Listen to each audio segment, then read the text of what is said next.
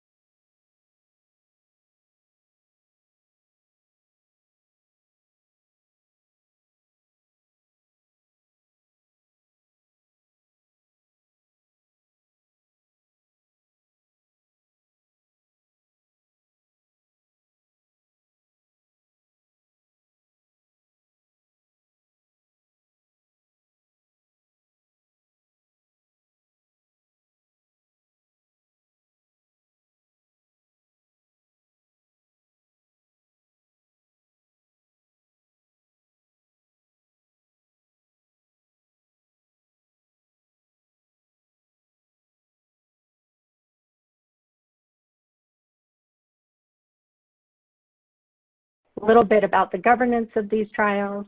So again, the vaccine companies are, are the IND sponsors, and each trial has clinical trial sites that are provided by both contract research organizations contracted to the company and the COVID prevention network, that clinical trial network that I just mentioned.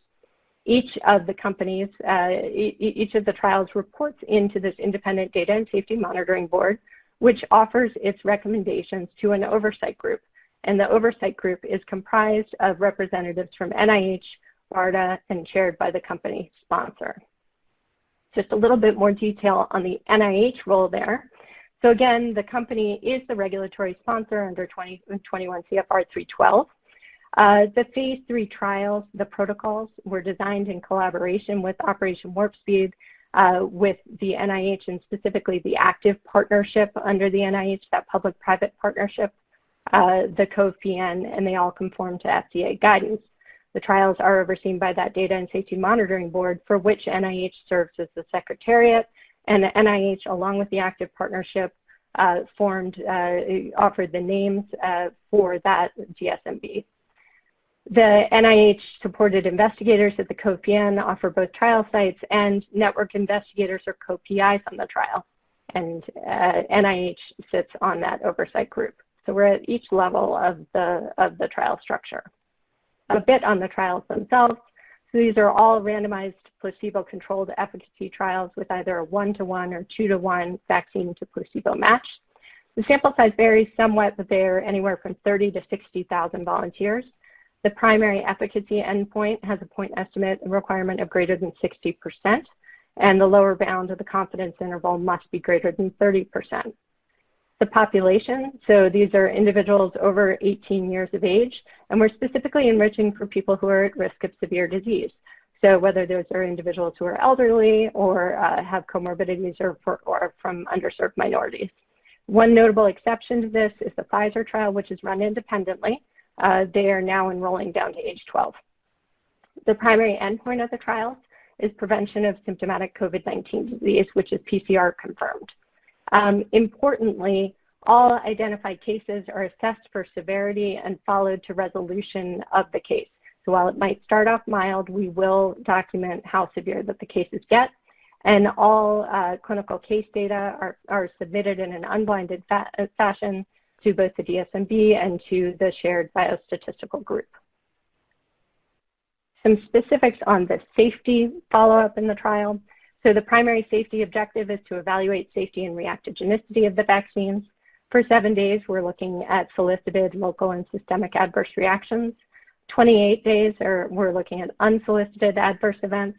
And then at any time in the two-year follow-up for medically attended adverse events, adverse events of special interest as outlined in the protocols, and severe adverse events at any time. So all adverse events are, are reviewed by a dedicated safety team, and they're reviewed in an unblinded fashion by the DSMB. For severe AEs, there's a more thorough review that's specifically conducted by the DSMB. And the DSMB is going to be looking at all times uh, for imbalances in severe COVID cases between study arms. So now some key priorities for these trials. And I'd like to speak about three specific areas. Uh, so the first being safeguarding volunteers. Second, enrolling individuals who reflect the pandemic, uh, and particularly individuals who are at risk of severe COVID. And the third is generating and maintaining trust with the public. So first, safeguarding volunteers. So we are developing vaccines in a public health emergency. We recognize the urgency of it. Um, we as uh, overall in Operation Warp Speed are willing to take financial risks, uh, particularly with respect to manufacturing and investing in manufacturing earlier than one might otherwise. But the scientific integrity of the trials and the volunteer safety are not compromised. So I wanted to specifically address some of the safety pauses and holds in the trials. So adverse events are expected to occur in these trials in both the vaccine and placebo groups. Uh, these are monitored and graded but for severity using standard procedures. And these are regularly reviewed by study clinicians and monitors and protocol safety teams to ensure proper interpretation and reporting is needed. So in other words, we are finding these events because we are specifically looking for them and we are looking for them according to tried and true processes. In addition, there are multiple layers of safety oversight, including the company's own pharmacovigilance, this should say the NIH-led protocol safety review team, uh, the DSMB, and the FDA. These are all in place to protect study volunteers. It's something we take very seriously. And I would say that the recent regulatory hold for AstraZeneca and the clinical pause for Janssen are signs that the system is working as expected. We're finding these cases, we are working them up thoroughly and working in close partnership with the regulators over at FDA. Next, enrolling those at highest risk of infection and severe disease. So it is critical that at the end of these trials, we have reliable, interpretable data on the safety and efficacy of these vaccines in those who are hardest hit by the pandemic. So who is that? We know, as described by the prior speaker, that those individuals who are in older age groups are at risk for severe disease, and those individuals who have specific comorbidities. In addition, we know that individuals from underserved minorities are hit harder by this pandemic, both in terms of infection and in terms of severe disease and indeed death. So we know that we need specific information in these groups. Our trials have parameters that are explicit um, on enrollment of volunteers with these individual risk factors. So for example, whether it's individuals over age 65, people with comorbidities, or people of specific underserved minorities. And in order to do the, do the latter, we've been working hard on proactive community engagement activities, um, and this really has been a top priority for NIH leadership at the highest levels. These measures are critical to the success of the trials themselves, but they're also going to allow assessment of safety and efficacy in the populations that are at highest risk. And we know that's going to be essential for future acceptability of these vaccines. Some specifics on our activities in these areas. So first, the Communi Community Engagement Alliance Team. This is an NIH entity that's drawing on longstanding uh, relationships that we have at our clinical trial networks on, at the local level. And then the COVID Prevention Network has a specific working group which is building on its HIV trial experience. And that group is led by health equity experts, and they've been very proactive in this area, um, and activities have been pretty widespread. So specifically, they have stood up a series of expert panels with scientists from and working with priority populations. They have also stood up community working groups with research familiarity and there are any number of stakeholder outreach events with national organizations, um, local town halls, a specific faith-based organization outreach strategy, and grassroots organization. So there's more work to be done there. There always is, uh, and we're committed to doing it. Generating and ma maintaining trust, uh, this is the third priority, uh, both in the trials themselves and in the products if they prove successful in the trials. And we know this is critical because the vaccines will only be effective if that uptake is widespread. You can have a fantastic vaccine, and if no one takes it, it's not going to do much to end this pandemic. And there is a good deal of work to be done in this area. We know that a good portion of the U.S. public is, uh, is skeptical of these vaccines um, and uh, not jumping to take them once approved, at least at present. So what are we doing about it? Uh, so first, maintaining safeguards for volunteers and for the study conduct. Um, we are taking that very seriously as, as discussed earlier in the presentation. We're engaging directly with stakeholders from underserved minorities that are hardest hit by the pandemic. And we're communicating the roles that entities like the NIH, like the VRBPAC, like regulatory bodies play in the careful evaluation and potential authorization of vaccines. And importantly, we're committing to transparency. So the companies have made some real strides in this area, posting their final protocols, sharing enrollment data on an ongoing basis, including enrollment by race ethnicity.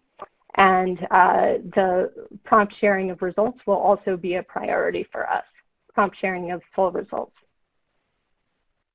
And just uh, to wrap up, um, we, if anyone is interested in participating in any of these trials, This website, preventcovid.org, will allow you to express your interest. You'll take a quick survey um, about your potential risk of infection.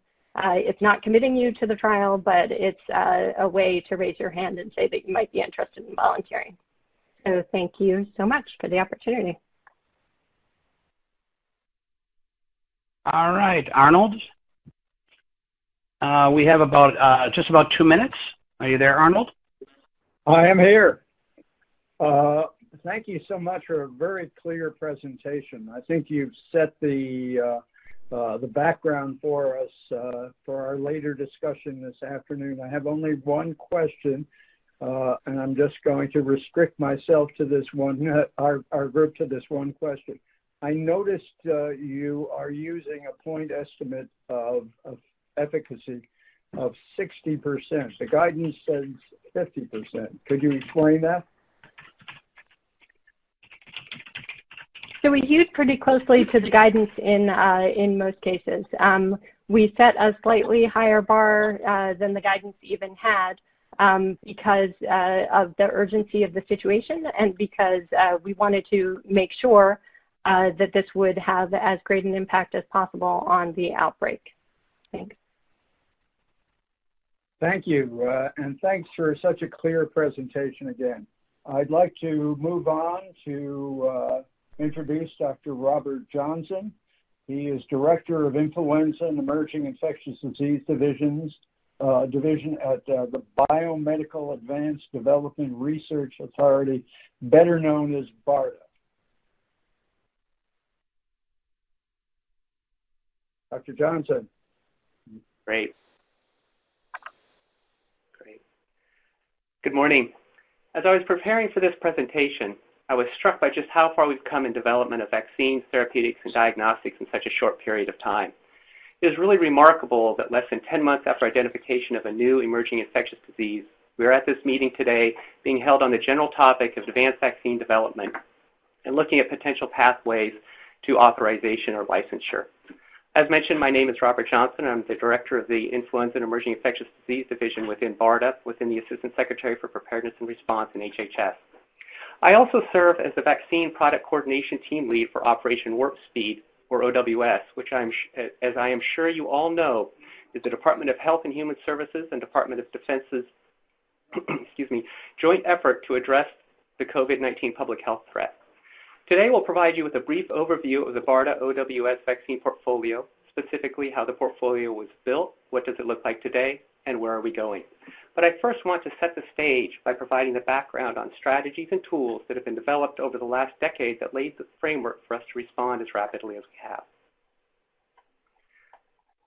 Apologies for figuring out the slides. So as I mentioned, BARDA sits within the Assistant Secretary for Preparedness and Response. ASPR's mission is focused with a wide-ranging impact, save lives and protect Americans from 21st century health security threats. This includes current activities such as providing support to those impacted by recent hurricanes, as well as numerous activities related to the COVID-19 pandemic response. As part of this mission, BARDA supports development of medical countermeasures to detect, treat, and prevent a variety of threats, including pandemic influenza and emerging infectious diseases. This capability is built on core principles which combine support a rapid response to emerging threats. So the BARDA pandemic vaccine preparedness and response strategy is really based on three ideas. The first is acceleration of development. How do we do that? One is looking at use of platform technologies which have previous experience. Related to that is doing activities in parallel. So it's not enough to simply have something that moves fast. We all know the standard development uh, pathway. The, the goal is how can we do things in parallel so that we can accelerate that process. Second is around manufacturing. Similar to what Hillary Marston mentioned earlier about a vaccine is only as good as it is people willing to uptake it. A vaccine is only as good also as it is the ability to produce it in sufficient numbers to get out and have an impact. So when we think about domestic manufacturing, really three things come into play. The first is, of course, you have to have the facilities in which to make the vaccine. The second is you need the raw materials and supplies to make the vaccine. And finally, you have to have a vaccine and a platform that's amenable to scaling up and scaling out so you can make a lot of product in a short amount of a short period of time. And finally, risk mitigation. And what do we really mean by that? We really mean redundancy. We don't want to be putting all of our focus on just one technology or one approach or one manufacturing facility. We want to have multiples of each of these so that if one does drop out, we have other candidates that are ready to come into place and move on to the next step. So great to have a strategy, um, but what are we really trying to accomplish with this strategy? So what you have here on this slide is a standard product development timeline where we look at things being done in parallel in, in uh, sequence, um, typically one candidate at a time, and you have large-scale manufacturing coming on fairly late in the process.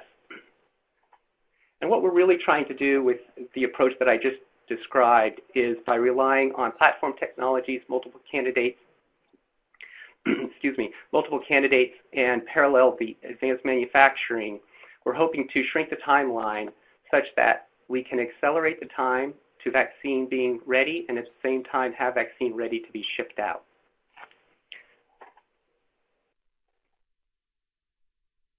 Right. So everyone is aware that the COVID-19 outbreak is the third outbreak of a novel coronavirus since 2003.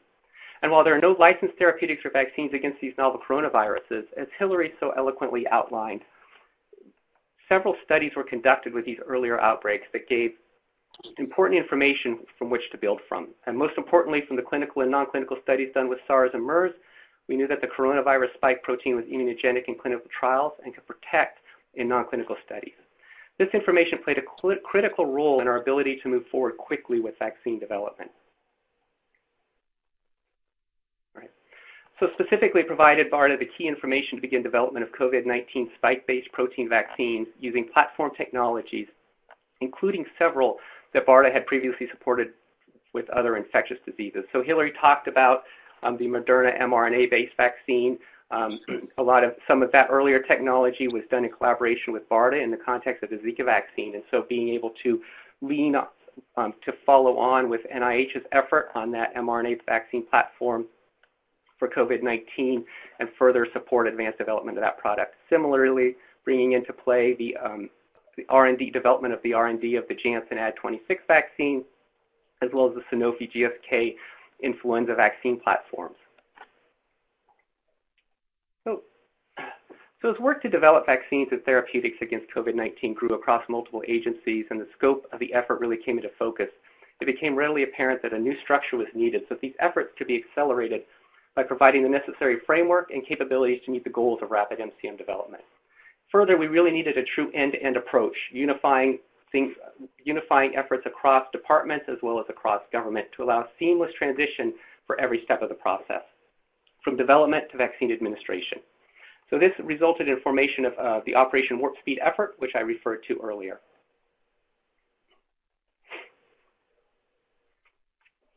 So what exactly is uh, Operation Warp Speed? Again, I, I provided a quick summary, but I wanted to touch briefly on how does this Operation Warp Speed really enhance the strategy I discussed earlier. And as I mentioned, it talks about the end-to-end -end solution, but it's really more than that. It adds resources and value to every step of the process. So we have cross-departmental strategic guidance, oversight, and teamwork. This allows resources from multiple departments across the government to come together to be working on one task in parallel and together. It greatly enhances the logistical operational capabilities. As I'll discuss a little bit later, we've heard um, already about the um, scope and the size of the clinical trials and the number of candidates that are being worked on. One of the things we haven't talked as much about is the manufacturing requirements to be producing six vaccine candidates at such a large scale. So the logistical capabilities and requirements of setting up that supply chain is tremendous and requires great cooperation. Finally, it brings in the it incorporates the expertise of DoD and DHHS to support the large, rapidly enrolling clinical trials that Hillary talked about earlier. Excuse me. So what exactly, there we go. And finally, it puts all of this effort under one roof.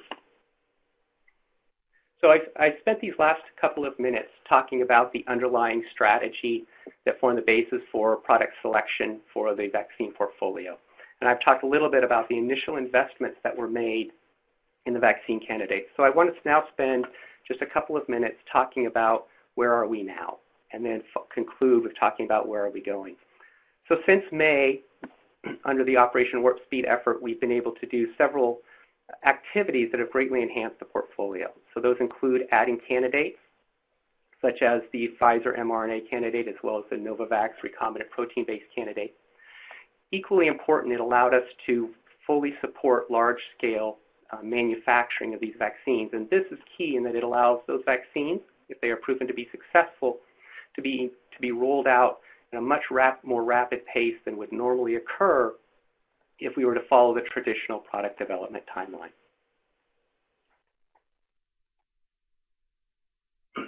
So what are the, the um, products in the current portfolio? Again, Hillary, I think, did a nice job providing an overview, and I don't want to repeat what, what she said. Six candidates, a couple of things that I will touch on in regards to the initial strategy that was outlined. One thing is the, the idea about having, from a risk mitigation perspective, having multiple candidates on the same platform. So you'll see two candidates based on the mRNA platform, two based on the adenovirus platform, and two based on the recombinant protein platform. Another important point that I would like to call your attention to is that these candidates, while they've been moving forward rapidly, have also hit every each one of the steps that you would expect to see in typical product development pathway. All of them have, are, have completed or have ongoing non-clinical studies looking at safety and effectiveness. They also have, before they went into the phase three clinical trials, they've also conducted phase one and two clinical safety and immunogenicity studies not just in, your, in the younger population, but also specifically in that older population that will most likely benefit from a successful vaccine. And finally, as, as mentioned before, four of the six candidates are currently in the large phase three clinical trials. Hillary did a really nice job of providing an overview about the um, how we conduct the phase three clinical trials of the vaccine candidates in the OWS BARDA portfolio. Um, so I'm not going to repeat that. I put this slide up here as, um, for reference. Um, so, uh, but I will just quickly point out and reinforce this idea that while each uh, protocol is um, the company the, the pr product developer is the sponsor for that, we do have um, there's an effort that allows this harmonization that is so important in terms of safety and effectiveness oversight.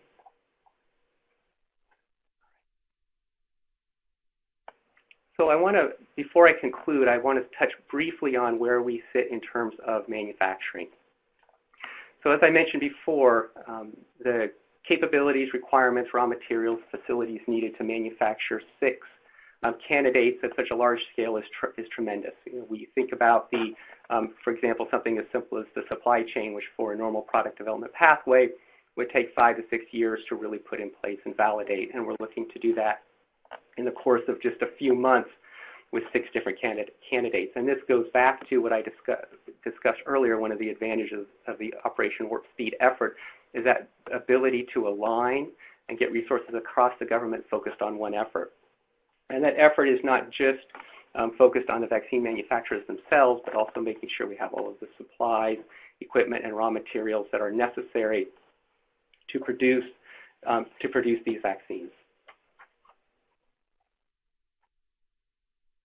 So finally, I want to conclude. I thought Hillary's comments around the importance of um, uptake and confidence were, were, really important, and they really hit on a key fact. And that's when we think from the Operation Warp Speed as well as from the BARDA perspective, what are we looking to, to accomplish? So it really is hitting every one of those steps in the, in the product development life cycle, the manufacturing life cycle, as well as the, the distribution and administration perspective because really the requirement is an end-to-end solution.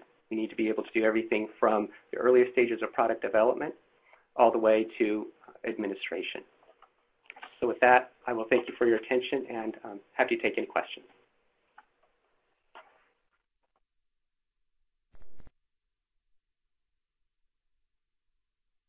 All right, Arnold, are you there? I am here. All right. Uh, we have a few minutes uh, for questions. I've stifled uh, questions from the committee. If anybody is, wants to ask a very short question, uh, please raise their hands.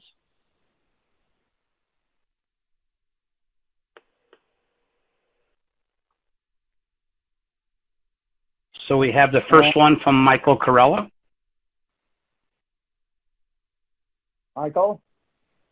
Thank you. Uh, Robert, very, very nice overview. I was I was struck by the fact that the majority of candidates currently being supported are two-dose vaccines. Was that just how there were many other factors that played into selection and you didn't have, or was there very few choices in terms of potential candidates that would be a single dose? It would seem that for a, particularly a pandemic and an outbreak response that a single dose would be highly desirable. Yeah, no, thanks for that question, Mike, and that's a that's a, that's a great point. So uh, before I answer that, I just uh, you know a little bit of background. You know, from the from the BARDA and, and OWS perspective, you know, the portfolio is is not set, right? So we're always um, looking for candidates that will um, that, that, to potentially incorporate into the portfolio, and certainly a candidate with a with a single dose would be would be of great interest for the reasons that you mentioned. You know, I can say that when we were doing, you know, the the initial um, evaluation, um, you know, there wasn't one that really came across as being a, a, a single dose that we thought met all of those other criteria that were so important. Next, uh, we have a question from Dr. Notarangelo. Please unmute. Good morning, Dr. Johnson. That was very clear. I have only one question. Can you tell us more about how many uh, manufacturing facilities are involved for each company? Is it only one or more than one? And what is BARDA's position in regard to um, what is mentioned in the guidelines, October 2020 guidelines, that do not require inspection of the facility, manufacturing facilities in order to provide an emergency authorization, if, if appropriate? Thank you. Right. So, um, all right. So, so great question. So we are, you know, as I, as I mentioned, um, earlier in the talk, risk mitigation um, is, is, is key for us. So we're always looking to have you know more than one facility capable of doing manufacturing. Of course, manufacturing isn't just one step; just doesn't occur at one facility. It's when we think end to end. But we are always trying to do everything that we can from a risk mitigation perspective to make sure that we have um, um, multiple facilities. Um, to get to your second one, you know, I'll, de I'll defer to, to FDA to respond. I won't, won't speak for them in terms of their guidance document. I can say from from our perspective and our interactions with our product developing partners, you know, quality is, is always paramount. And so this is something we are focused on heavily and spend a lot of time and effort on, you know, regardless of, of um, you know, when um, the regulatory authorities may come for an audit. Uh, let's park that question until this afternoon. I want to call on a couple of more members. Dr. Chatterjee.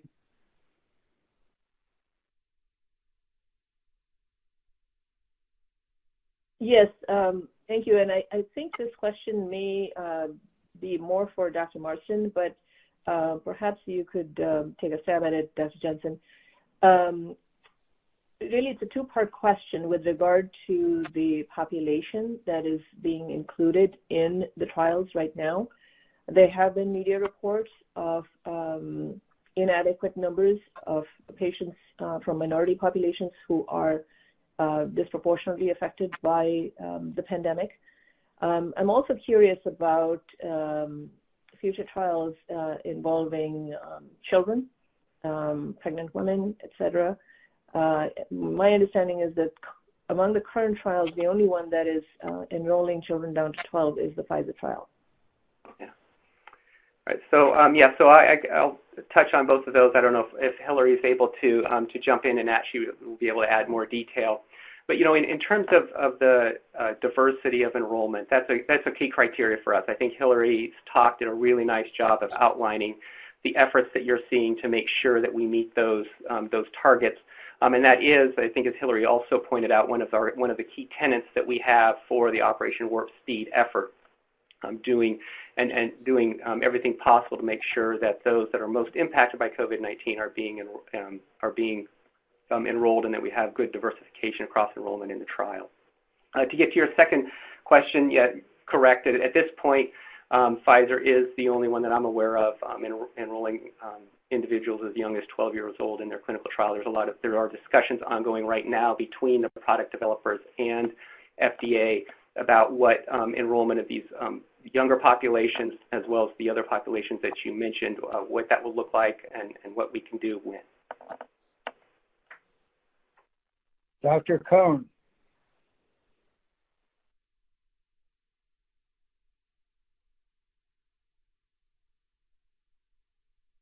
Apologies. Um, I have the same question as Dr. Chatterjee, so I, I don't have a question.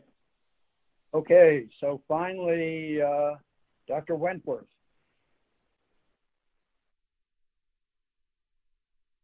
Thanks for that uh, great presentation, Dr. Johnson. Um, you mentioned, you know, a, a, lot of these have already uh, got data associated with virus neutralization tests. And as you know, that can be a challenging uh, process. And I was wondering if, if there's some activity going on to standardize uh, that neutralization so that you better understand uh, the level of neutralization from different platforms. Over. That's a great point. And Hillary, I didn't touch on that in my presentation because I think Hillary uh, did a nice job covering that. One of the tenets under the um, Operation Warp Speed effort is that uh, we will use a standardized neutralizing assay across uh, trials to get just to your point.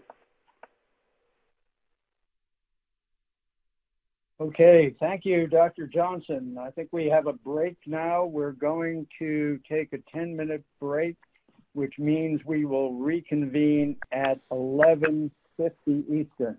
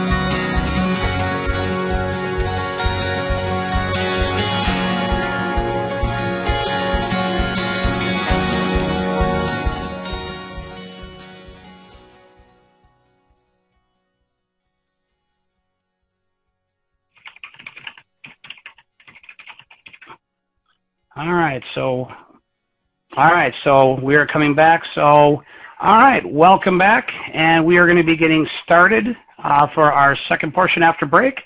Uh, Dr. Marks, would you like to uh, kick us off here real quick? Go ahead, turn your camera on and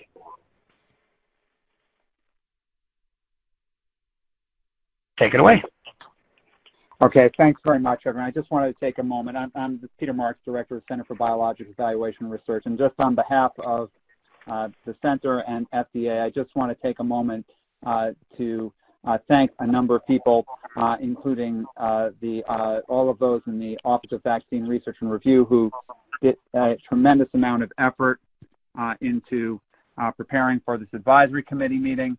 I also need to greatly thank the advisory committee meeting staff, and Dr. Atreya. They spent uh, many, many hours uh, uh, getting ready for this. This is an exceptionally well-attended advisory committee meeting, more so than most, so a tremendous amount of preparation went in, into it. Um, and I also want to greatly thank all of our advisors um, who are participating today. Um, we greatly appreciate all of the input uh, that you will provide to us. So without that, since it's a very busy day, I just want to take any more time, but thank you all, and thanks to all our listeners uh, today as well.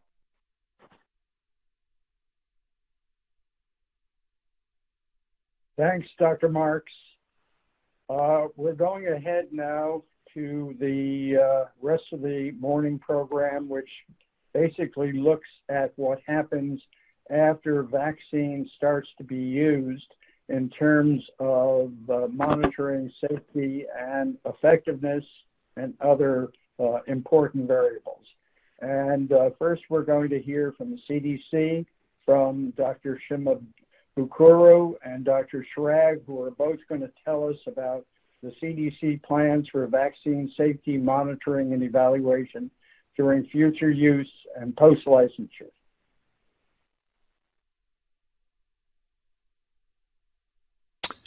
Hi, can you hear me okay?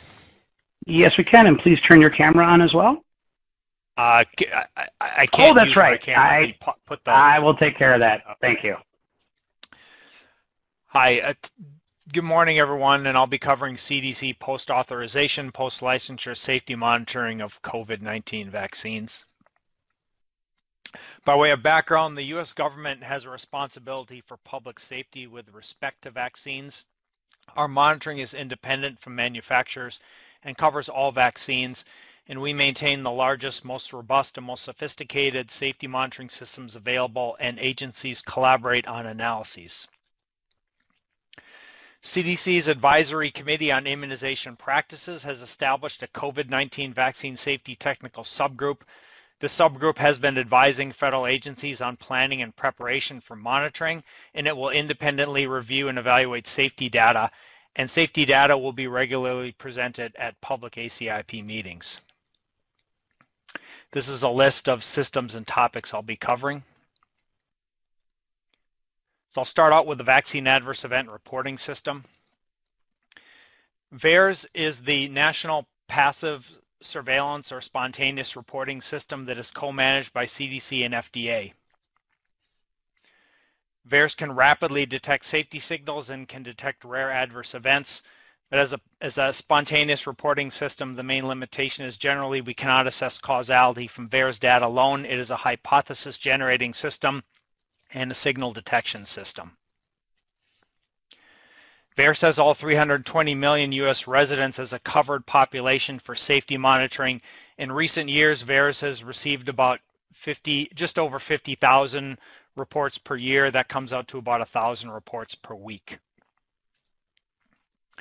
Approaches to analyzing VAERS data include traditional methods like clinical review of individual reports and aggregate report review. That's looking at large volumes of automated data. Statistical data mining methods detect disproportional reporting of specific vaccine adverse event combinations in the VAERS database. VAERS traditionally has provided the initial data on the safety profile of new vaccines when they are introduced. For COVID, va COVID vaccine reports will be processed within one to five business days depending on the seriousness of the report. CDC and FDA receive updated data sets daily and data mining runs are planned to be conducted every one to two weeks.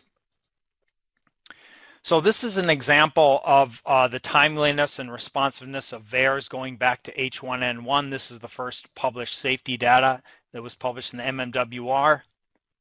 The vaccines, the H1N1 vaccines were licensed in mid-September 2009, did not become available until mid to late October. The analytic period for this analysis was through November 24th, and the MMWR was published December 4th. That's less than two months after the start of vaccination. Moving on to the Vaccine Safety Data Link. The VSD is a collaboration between CDC and nine participating integrated healthcare organizations with data on over 12 million persons per year. VSD has uh, information from EH electronic health records and administrative data all linked by study IDs with access to charts. Planned monitoring activities include near real-time sequential monitoring, what we call rapid cycle analysis. These are weekly analyses on accumulating data with adjustments for sequential testing. The outcomes in RCA are pre-specified. Tree temporal scan data mining looks for associations and there's no limitation or restriction on the outcomes. These outcomes are not pre-specified. We also plan to monitor for vaccine-mediated enhanced disease in VSD. VSD data are refreshed weekly and there's an approximate two-week data lag from a patient encounter with the healthcare system until the data are in a refreshed database. Moving on to the Clinical Immunization Safety Assessment Project. CISA is a collaboration between CDC and seven participating medical research centers. They assist U.S. healthcare providers with complex vaccine safety questions about their patients and conduct clinical research. And here's a map with the seven CISA sites. Moving on to a new program called vSafe. vSafe is a new smartphone-based active surveillance program for COVID-19. It uses text messaging to initiate web-based survey monitoring. It conducts electronic health checks on vaccine recipients daily for the first week post-vaccination and weekly thereafter until six weeks post-vaccination. It includes active telephone follow-up through the VAERS program for people reporting a clinically important adverse event during any vSafe health check and data will be available daily. This is a schematic of vSafe. You see the bidirectional communication there between CDC and the vaccine recipient. These are text messages with web links going to the recipient and the recipient transmitting information back to CDC on their post-vaccination experience. Clinically important adverse events include missing work, unable to do activities, unable to do normal daily activities and receive medical care. If any of those are checked on any vSafe check-in, VAERS will initiate active telephone follow-up to contact the patient and take a VAERS report if appropriate. Moving on to additional programs. So some other planned safety monitoring activities are safety monitoring in the Genesis healthcare data. This is 350 long-term care facility sites in 25 states. And we're also planning to do facilitated VAERS reporting for healthcare workers and long-term care facility residents in CDC's National Healthcare Safety Network.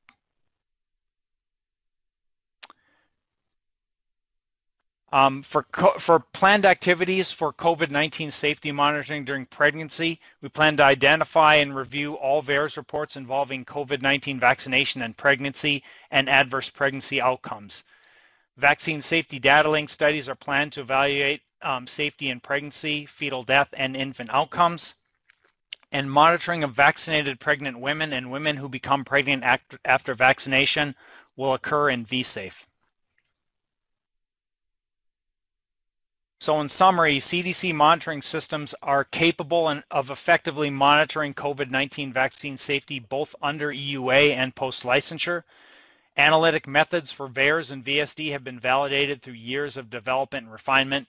Data refresh and updates are timely, allowing for analyses in near real time, and additional safety monitoring programs will contribute, especially early in the COVID-19 vaccination program. And I'm going to turn things over to my colleague, Dr. Schrag.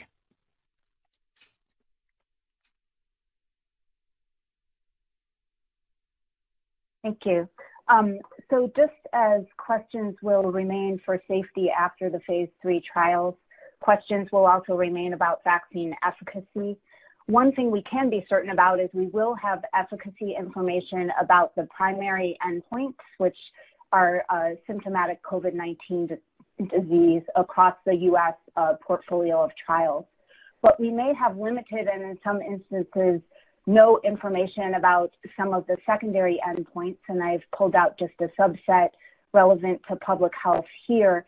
Um, this would be particularly true in the instance of an early EUA because many of these secondary endpoints required a longer time than the primary to accrue events. Um, also, I just wanted to point out that for the uh, infection endpoint, which is of interest because it relates to transmission, um, even if the trials run the full duration, there may be limited insights because of widely spaced uh, blood draws and uh, complications in interpreting serology. As we heard earlier, the trials have not focused to date on pregnant women and children, so for this talk, I'm going to focus on adults. Um, so with this context, the need for post-authorization or licensure VE estimates is more important than usual, particularly if an EUA is issued uh, early and uh, we will have limited information. But it's also needed for the usual reasons that real-world protection can differ from efficacy under trial conditions. And most of the COVID-19 vaccine products in the U.S. portfolio require two-dose regimens and varying cold chain conditions, so uh, they could be challenging to implement. Given this, we were able to conduct some internal uh, consultations as well as some consultations with external stakeholders and policymakers, including some of the members of the uh, CDC's ACIP COVID-19 vaccine working group. And we really wanted to hone in on the VE priorities that are of relevance to policymaking. And the results of these consultations are summarized in this table here. Everything in the table is really a top priority. And those items I highlighted in yellow were just consistently mentioned and emphasized across our consultations as important. So we will need to go after product-specific VE for an early phase of vaccination when doses are limited. We will focus on uh, just assessing whether the vaccine is behaving as expected based on the trials. But as we hit into a wider, a, wider spread phase of use, we'll be interested in generating VE estimates against a range of outcomes and for key subpopulations, and also looking at some regimen-related questions that are what arise in real-world conditions. And the reason why the infection and uh, closely related transmission endpoint were emphasized by many of our uh, stakeholders is because from the policy standpoint, this is in some ways a fork in the road where policies for a vaccine known to protect against transmission can look very different from policies for a vaccine that protects against uh, severe disease but not transmission. And then as sufficient time has accrued, we will uh, be interested in looking at duration of protection, comparative VE if there's more than one product, and also uh, throughout the pandemic and certainly after vaccine comes on the scene, we want to keep tracking uh, the evolution of SARS-CoV-2.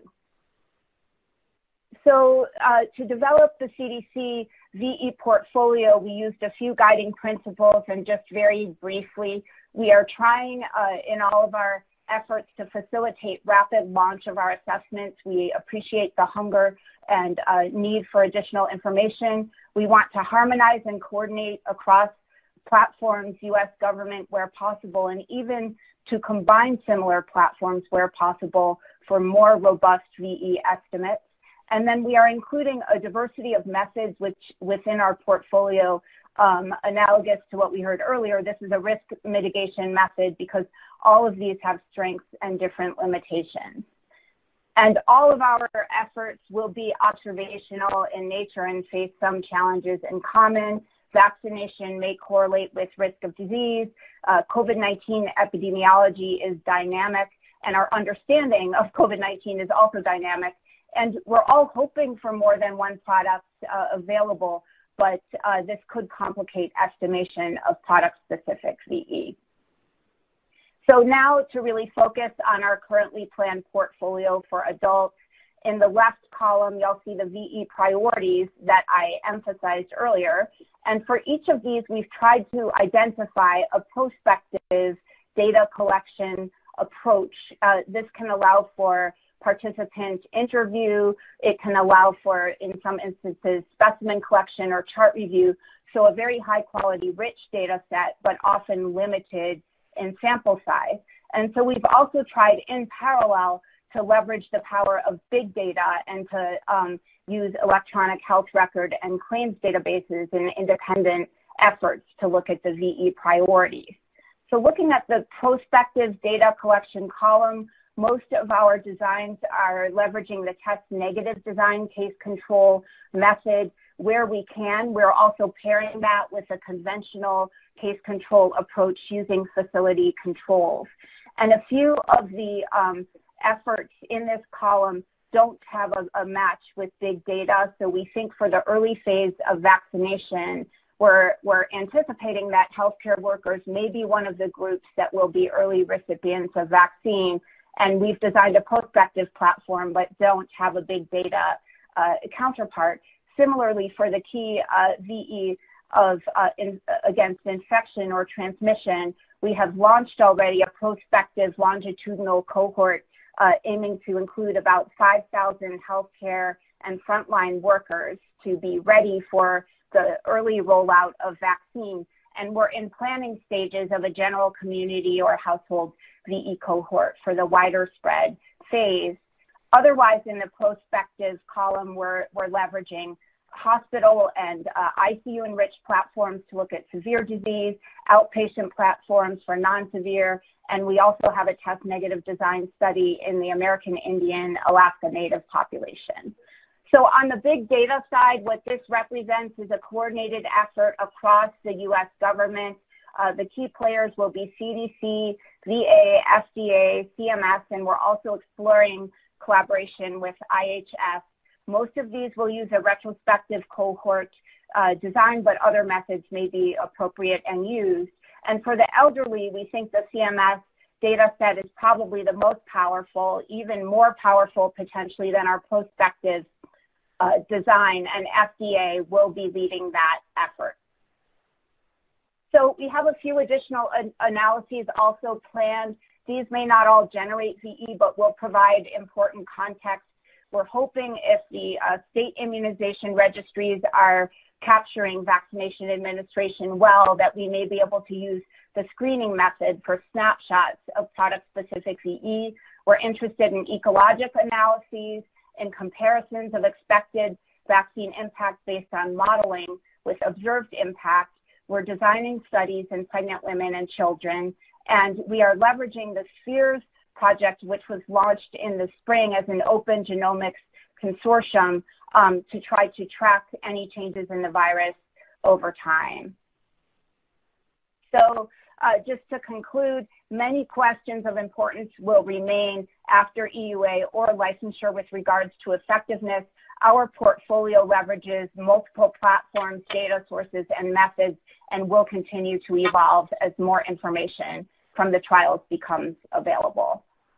And I just wanted to acknowledge all the platforms that we will leverage. Thank you. Arnold? Thank you. We have a, go ahead, take it away. Right. Thank you both. Uh, we have time for a couple of critical questions. Dr. Gans. Thank you. Um, uh, thank you very much. This question might be um, directed at Dr. Shimabukuro. Um, I really had a question about the expansion mostly of the VSD. I mean, a number of platforms were thrown up in terms of how we're going to mine the data, but there's some real key geographic sites, as robust as VSD is, and it's really been an incredible resource um, to look for signals. Um, that may, as you indicate by hypothesis, come from VAERS, but I'm worried that it doesn't fully capture um, the ge geography of this disease. And um, I also wonder um, about collaborations with our colleagues globally because um, we're going to be learning a lot, um, I think, together on this. Hi, this is Tom. You're I mean, you're correct that the the VSD sites tend to be concentrated on the, the West Coast and are, are heavy on the, the California Kaiser um, programs. Um, we've we've done some some looks at the at the VSD data, and although it it's it's geographically concentrated, it, it is fairly representative of uh, the the racial and ethnic demographics of the United States as a whole. Um, we there and and um, I think Dr. Anderson in a future um, call will be talking about some of the other systems. So, um, you know, CDC and FDA have complementary systems, and we collaborate and cooperate on our monitoring. Um, we we also do um, are working with global partners on on um, trying to harmonize uh, some of our methods and to um, you know leverage uh, systems in, in globally in other countries and, and, and with attempts to uh, to combine data to get um, a better overall picture of, of safety monitoring. Did you have another question? I'm sorry, did you have another question? Is that your... Do you have a part two of that question? I, I, I just was hung up on part one. No, no, that's great. Thank you very much. Uh, let, us go on to Dr. Meissner, and uh, we're going to uh, continue the presentations after that because we may want to have a more general discussion of the various post-marketing surveillance systems afterwards if we have the time. Dr. Meissner? Thank you, uh, and thanks both uh, presenters this morning. So I wanted to just clarify uh, Dr. Shimabukuro, are the VAERS, VSD, and CISA will uh, apply to a, a, vaccine that's licensed under an EUA? Yes. We, okay. we, we plan to conduct post-authorization monitoring using our uh, established systems and some of these new systems during the the EUA period and and during the post-licensure period when the vaccines become licensed. And will every subject receive a uh, cell phone? And because that could be a huge number of people. I mean, our our goal is to enroll as many people as possible through the through the VSafe program. Uh, I didn't really have time to get into the specifics of of enrollment, but initially, um, people will be able to enroll either by going to a, a URL, URL or a, a, scannable QR code and, and, register and begin to get uh, begin to get text messaging. Um, we, we plan to use VAERS to follow up on what, how, what we call clinically important or med medically important adverse events. Um, so essentially it's leveraging the VAERS system to help us conduct active surveillance in VSafe. Thank you. Okay, thank you both very much. Uh, we're going to move back to uh, FDA now, and we're going to hear from Stephen Anderson, the Director of the Office of Biostatistics and Epidemiology in CBER on the CBER surveillance systems post-marketing.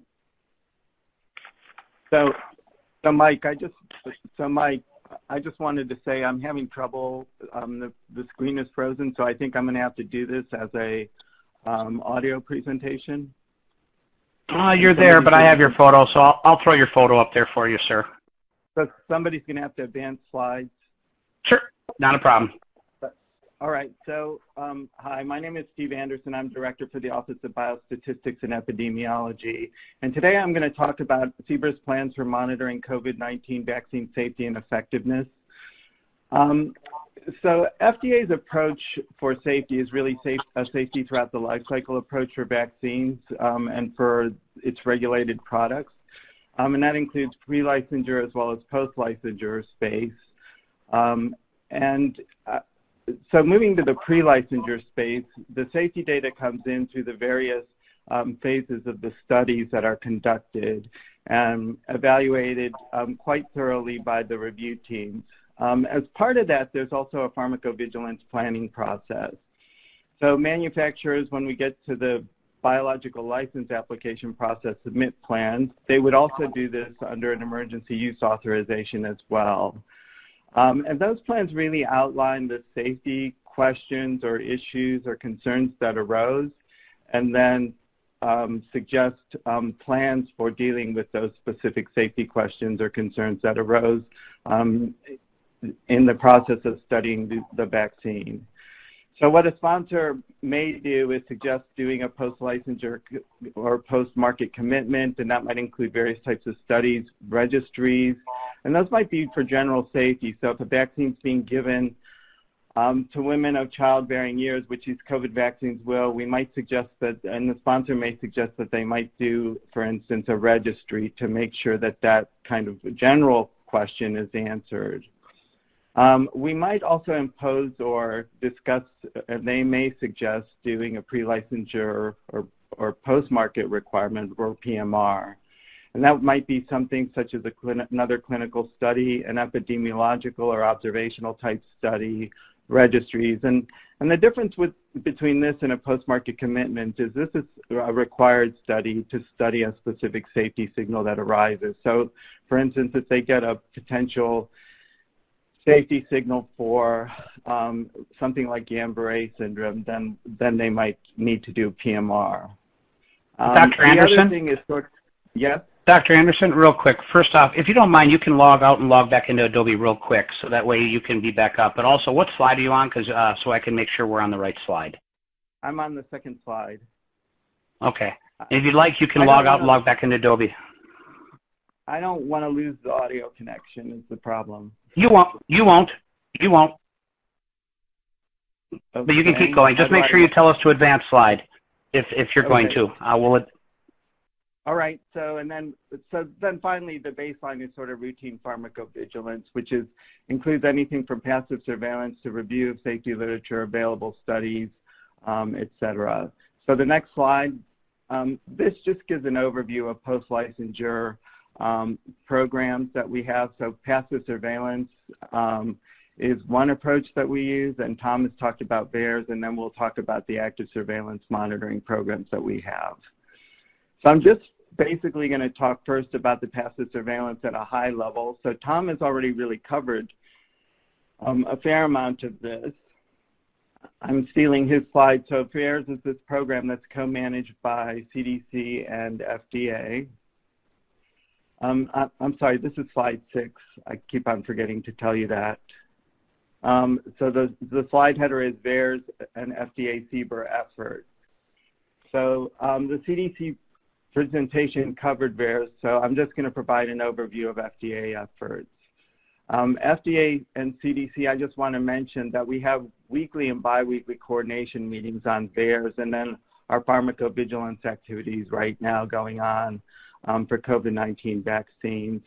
Um, that includes the CBER, front, CBER Office of Biostatistics staff in the front office as well as the Division of Epidemiology um, CDC's Immunization Safety Office, and others at CDC.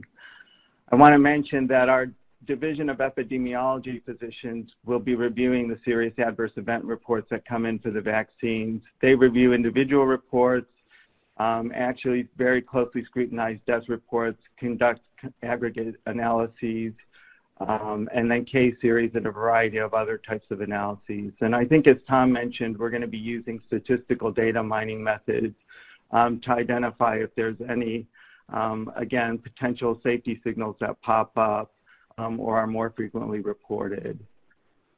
Next, I want to, which is slide seven, I wanted to talk about our active surveillance monitoring program. Going to slide eight, the next slide, um, is talking about FDA's vaccine um, safety monitoring programs and legislative authorizations. I just wanted to mention that um, there is legislative mandates for these programs that we're going to be talking about. Um, the first one is really um, around the FDA Amendments Act. That directed FDA to develop uh, what essentially is a Sentinel system, and, and the BEST initiative really is um, part of the Sentinel initiative. And the mandate by 2012 was to cover more than 100 million persons.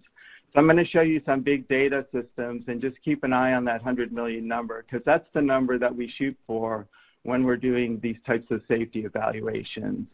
And then the Prescription Drug User Fee Act, um, the last iteration was 2017, um, just uh, discussion between FDA and industry on priority areas. And, and the Sentinel system and BEST received funding through this um, User Fee Act to fund activities. I wanted to talk, touch on data considerations because I think those are important for vaccines. Um, what we're looking for in data systems are really rapid data access for near real-time surveillance, um, large databases. This is slide nine, by the way, sorry. Um, large databases of tens of millions of patients for evaluating rare serious adverse events, uh, data representing integrated um, care spectrum, meaning outpatient, um, to inpatient. And that means vaccines are largely given in an outpatient setting or a physician's office or clinics. Um, but what we also want to be able to capture is if a patient comes in um, to an emergency department or the hospital with a serious adverse event, you want to be able to capture the entire spectrum of those visits in the patient records and have systems to do that. You want high quality data because it's very important to get, um, if you identify a safety signal, very important to adjudicate that and get that validated properly. Um, you want data with significant clinical detail um, and preferably access to medical charts. So moving on to slide 10, um, just a brief overview of the biologics effectiveness and safety system. Um, it includes several partners. Um, the first three are sort of contractors, we have academic partners, we have large um, insurers that are part of the program and, and mentioned that we also have point of care facilities and healthcare providers such as MedStar represented. And again, across the entire setting of healthcare um, spectrum. slide 11 um, talks about claims data sources. And just to remind people that, that claims are obviously the billing data and administrative types of information um, that are used to send patients to, to bill patients um, for, for services received in a um, care visit. Um, and you can see off to the right that many of these systems are in the tens of millions of patients that they cover. Um, the last three or four are ones that just are newly came on board with the BEST program, so we're going to be um, engaging those for use for COVID evaluation, um, COVID-19 um, vaccine evaluation. I wanted to talk about electronic health record data sources too, and many times the electronic health records provide a richer source of data um, than the claims data. So as you look over to the right, you can see the numbers vary from 1.5 million upwards to 105 million for Optum EHR systems. Um, so we have a lot of coverage with these um, potential data systems. Um, and then an important thing also to consider is they have strengths and limitations, which I'll talk about in a minute. I wanted then, before I do that, though, to talk about the Center for Medicare and Medicaid Services data. Um, we, FDA has had an ongoing partnership with CMS since 2002 to look at vaccine safety and effectiveness. Um, the data cover a very large population. I'm sorry, this is slide 13. Um, and um, cover um, approximately 55 million elderly persons who are 65 years of age or older.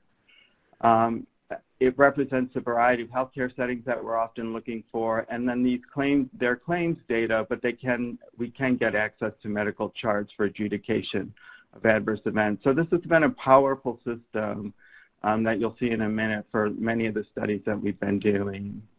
I just wanted to talk a bit about limitations of these data systems because I've thrown a lot of numbers and data systems at you.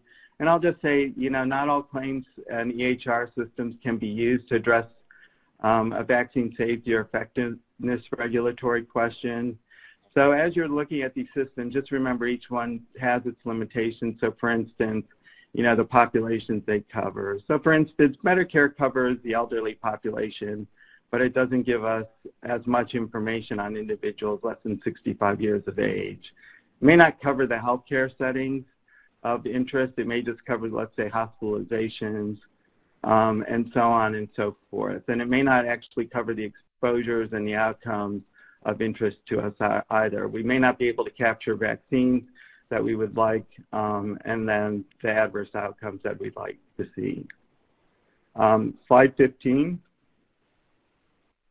I'm going to talk a bit about um, safety surveillance planning that we're doing. So like CDC, we're planning to do near real-time surveillance or rapid cycle analysis. We're planning on, at this time, monitoring 10 to 20 safety outcomes of interest to be determined sort of on a variety of factors. Um, one is on the pre-market review of sponsor safety data submitted to FDA. So that we'll be looking very closely at that data and especially the phase three safety data to identify potential um, safety questions of interest for us to study with our rapid cycle analyses. We're also going to be looking at the literature and regulatory experience with these vaccines and, and any um, experience or knowledge gained from looking at the vaccine platforms and their use in past vaccines um, and other relevant data. Um, we're also going to be coordinating all of this work with our federal partners, which I'll talk about at the end of the presentation. So our 10 to 20, list of 10 to 20 should largely be the same um, as, as CDC's and other federal partners. It's the plan. Um, and I will say for our plans, we plan on using CMS data for COVID-19 vaccine rapid cycle analysis um, as sort of our first um, um, set of surveillance that we're going to be doing for any new COVID-19 vaccine. Tom had this a list of possible um, adverse event outcomes of interest. I won't dwell on this. He had them at the end of his presentation. So we'll be coordinating um, which of these and others that we might be using um, in our rapid cycle analyses. But it gives you a feel for the types of events. I'm sorry, this is slide 17. Um, FDA's experience with near real-time surveillance. So we have considerable experience doing near real-time surveillance. So we've conducted um, surveillance for the annual influenza vaccine and Guillain-Barré syndrome since 2007. Um, and then we're supporting confirmation of some of CDC's work with their rapid cycle analysis of safety. And we've done that in the past for the seasonal influenza vaccine work that they've done in Shingrix um, vaccine as examples. Um, we've also done rapid cycle analysis type work or rapid surveillance in Sentinel, um, doing near real-time surveillance in the 2017 and 18 seasonal influenza vaccine looking at six health outcomes of interest. So the question I think then becomes, once we get these signals, how do we adjudicate them? So another capacity that we are, we're, we've built is really the ability to conduct epidemiological analyses, to really look at any of these signals that we get from sort of the screening methods um, that we're using in the near real-time surveillance. Um, and there's also TreeScan and other signal detection methods where we'll need to adjudicate signals so we're, we've got that capacity with these large databases to do that. So we can do some rapid queries and small epidemiological studies. We're prepared to do those. Um, but we can also do larger sort of protocol-based studies that might include sort of approaches such as self-controlled risk intervals, cohorts, um, or case control type analyses. Um, the next slide is slide 19. Um, I wanted to talk about our effectiveness work. Um, I won't go into the level of detail that Stephanie did, just for the sake of time. Um, but there may be limited information on effectiveness at the time of licensure or authorization of these vaccines. And I just want to remind people that manufacturers have a part in this as well. They're, they're doing the pharmacovigilance plan for safety. Um, they'll also be making um, proposals for studies that they might conduct for vaccine effectiveness post-licensure studies.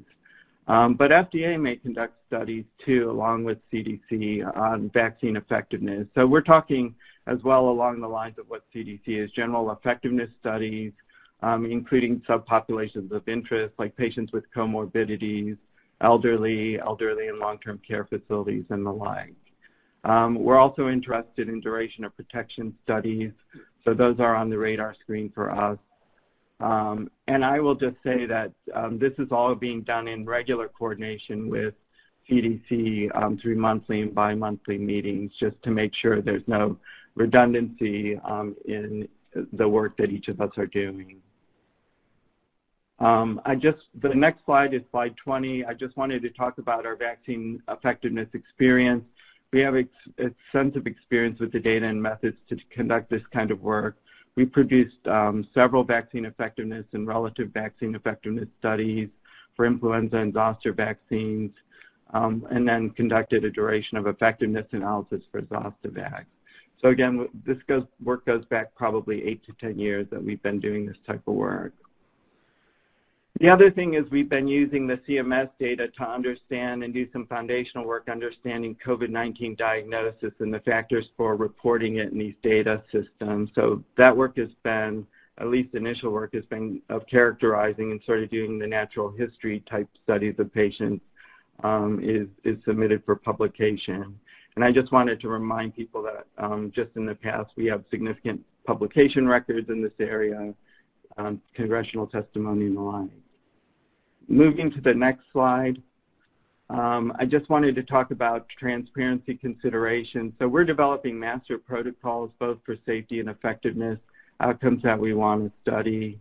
We'll be posting the draft protocols on um, out for public comment, and that's generally about a two-week period. Um, we'll consider those comments and update the protocol as needed um, and then post final protocols and final study reports, just again to keep the public informed um, and stakeholders of the work we're doing.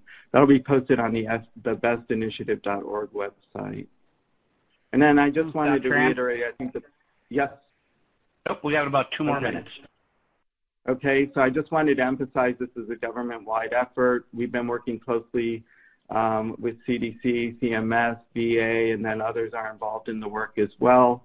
And I just wanted to remind you that that includes sort of regular meetings, the idea of sharing planned protocols and discussions um, of safety and effectiveness outcomes of joint interest to us, um, and we're coordinating the plans for near real-time surveillance um, with our sister agencies as well. And with that, I just wanted to end with acknowledgments to my CBER colleagues, but also the many colleagues from other government agencies and our, our um, contracting partners for the work that they do. And I will stop there. Thank you so much.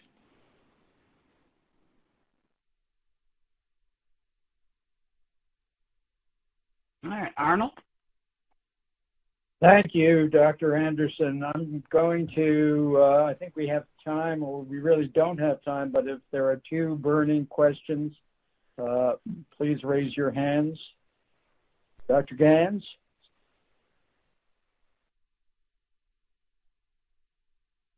Thank you. Um, I uh, thank you for that. I had a couple of questions. Just um, one of them is really about how we're keeping um, the data mining agnostic, so we can really actually find um, potential signals that weren't predetermined. I know you spoke about that, but I really just want to make sure that there is an agnostic approach to that.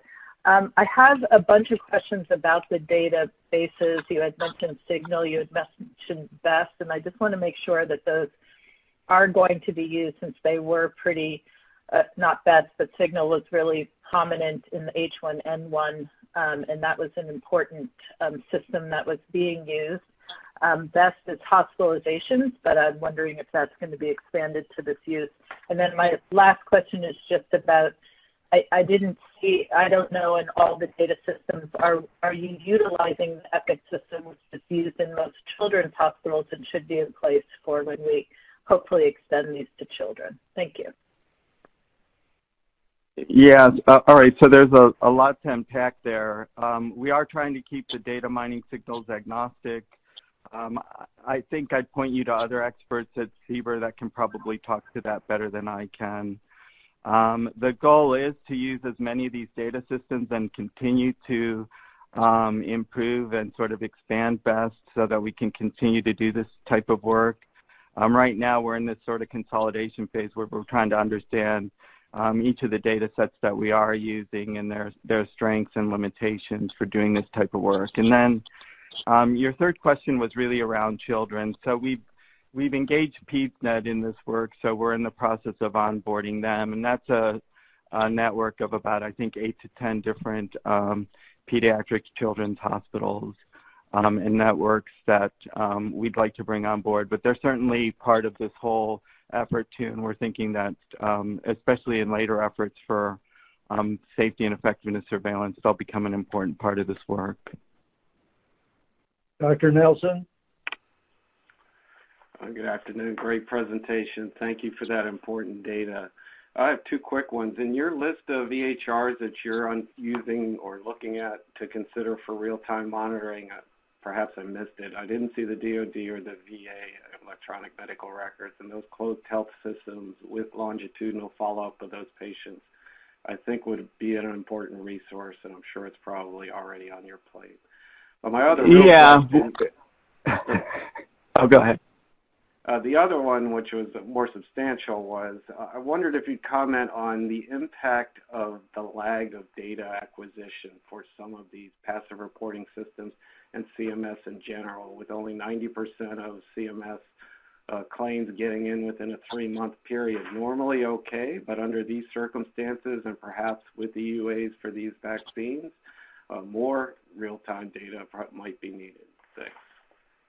Well, we have preferred access to CMS data, so I think the data stream there for us, we can get weekly or almost um, regular updated feeds from them every couple of days if we want. And, and it starts with unadjudicated data, but then as adjudicated data is added, um, the data all get updated. So we don't, this isn't a research database. This is actually access to the live um, insurance data stream. So we sort of have um, uh, unique access as a government agency to the CMS data. But you're right, lag is a huge concern to us, so we try to keep it um, under a month or two for the for many of the systems, especially the claim systems. But the claim systems generally go out three or four months of lag.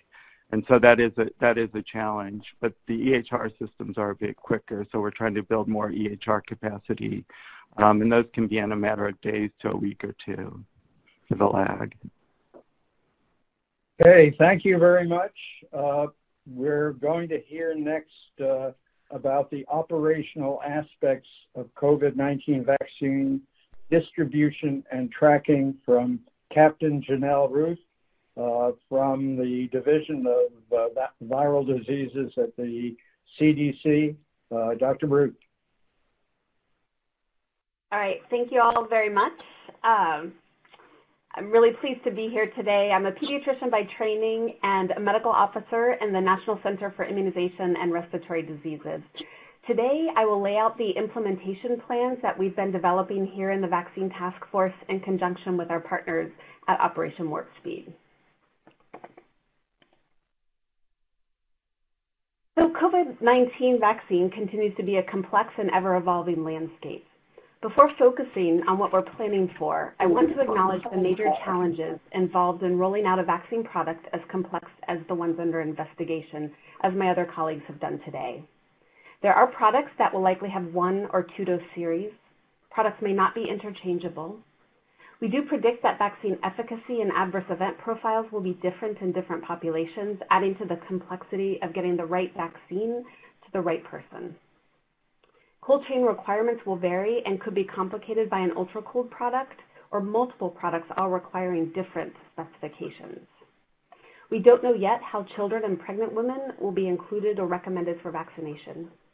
Vaccine administration will be challenged by the need to maintain social distance in conjunction with infection control guidance.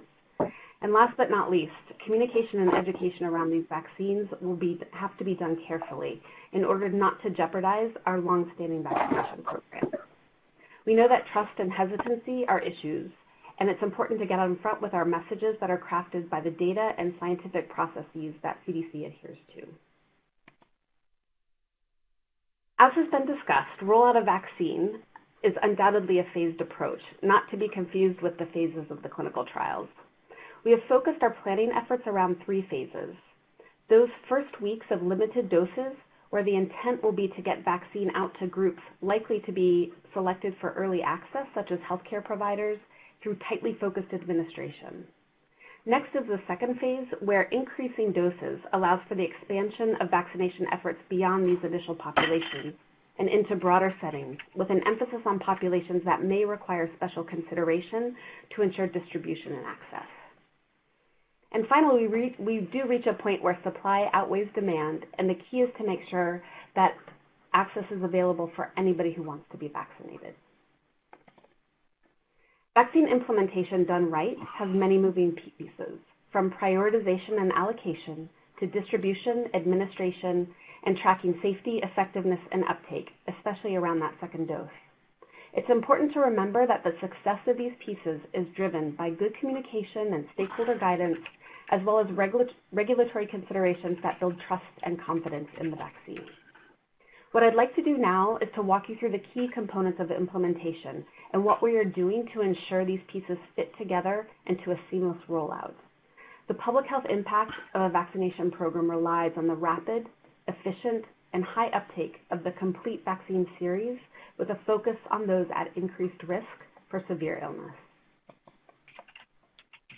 I do want to emphasize that we are thinking through carefully critical populations to ensure access to vaccine in earlier phases.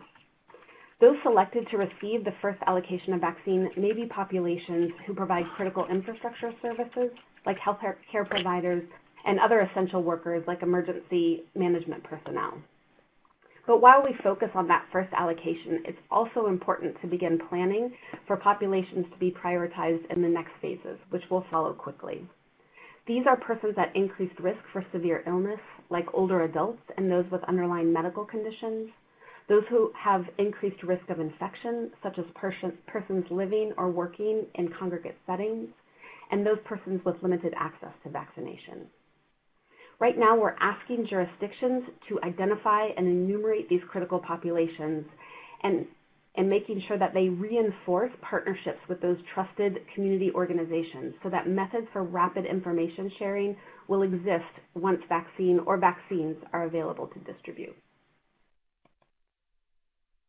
So here's an overview of the vaccine distribution concept down to the administration site. Vaccine will flow from the manufacturers contracted by Operation Warp Speed either to the distributor or for a vaccine requiring ultra-cold chain maintenance direct from the manufacturer to site of administration. At the same time, kits containing ancillary supplies such as syringes, alcohol pads, some limited PPE, and adjuvant or diluent as required will be packaged and shipped to the distributor depot. Vaccine and kits will be ordered and shipped separately to arrive either from the distributor or from that regional depot. Jurisdictions will order against a defined allocation of vaccine as it becomes available and will direct it to a variety of different administration sites, which will likely depend on that phase rollout. As vaccine becomes more available, we will start bringing in commercial partners like pharmacies who will be given direct allocations to expand that footprint of vaccination sites across the country. One key piece of vaccine administration is making sure we have a sufficient number of providers who can administer vaccine particularly in the early phases when we want to reach those critical populations. Onboarding and training of providers is vital to ensure the success of this vaccination program. There are multiple unique considerations for COVID vaccine administration that we are taking into account when thinking through vaccination clinic setup and throughput. Regardless of whether that clinic is a mass vaccination activity, a drive-through operation, or housed in a health center, these considerations do apply. First is maintaining social distance and infection control guidance for a vaccine clinic management. This means spacing out persons and having an appointment scheduling process to avoid overcrowding. Second is storage and handling capacity of the frozen products. We're not recommending at this time that hospitals or clinics purchase ultra-cold equipment. If an ultra-cold product is granted an authorization to administer, it will come in its own shipping container that is able to maintain that cold chain for a period of time to administer vaccine doses. Security may be a concern at some clinics and making sure that the clinic staff and patrons are safe is part of that key clinic design. And finally, clinics must have the ability to have time to speak with patients and provide them the information required under an EUA. This step is critical because for some vaccines, patients will need to come back for that second dose. A good experience with time to answer questions and counsel on vaccine safety will go a long way to ensuring that return visit.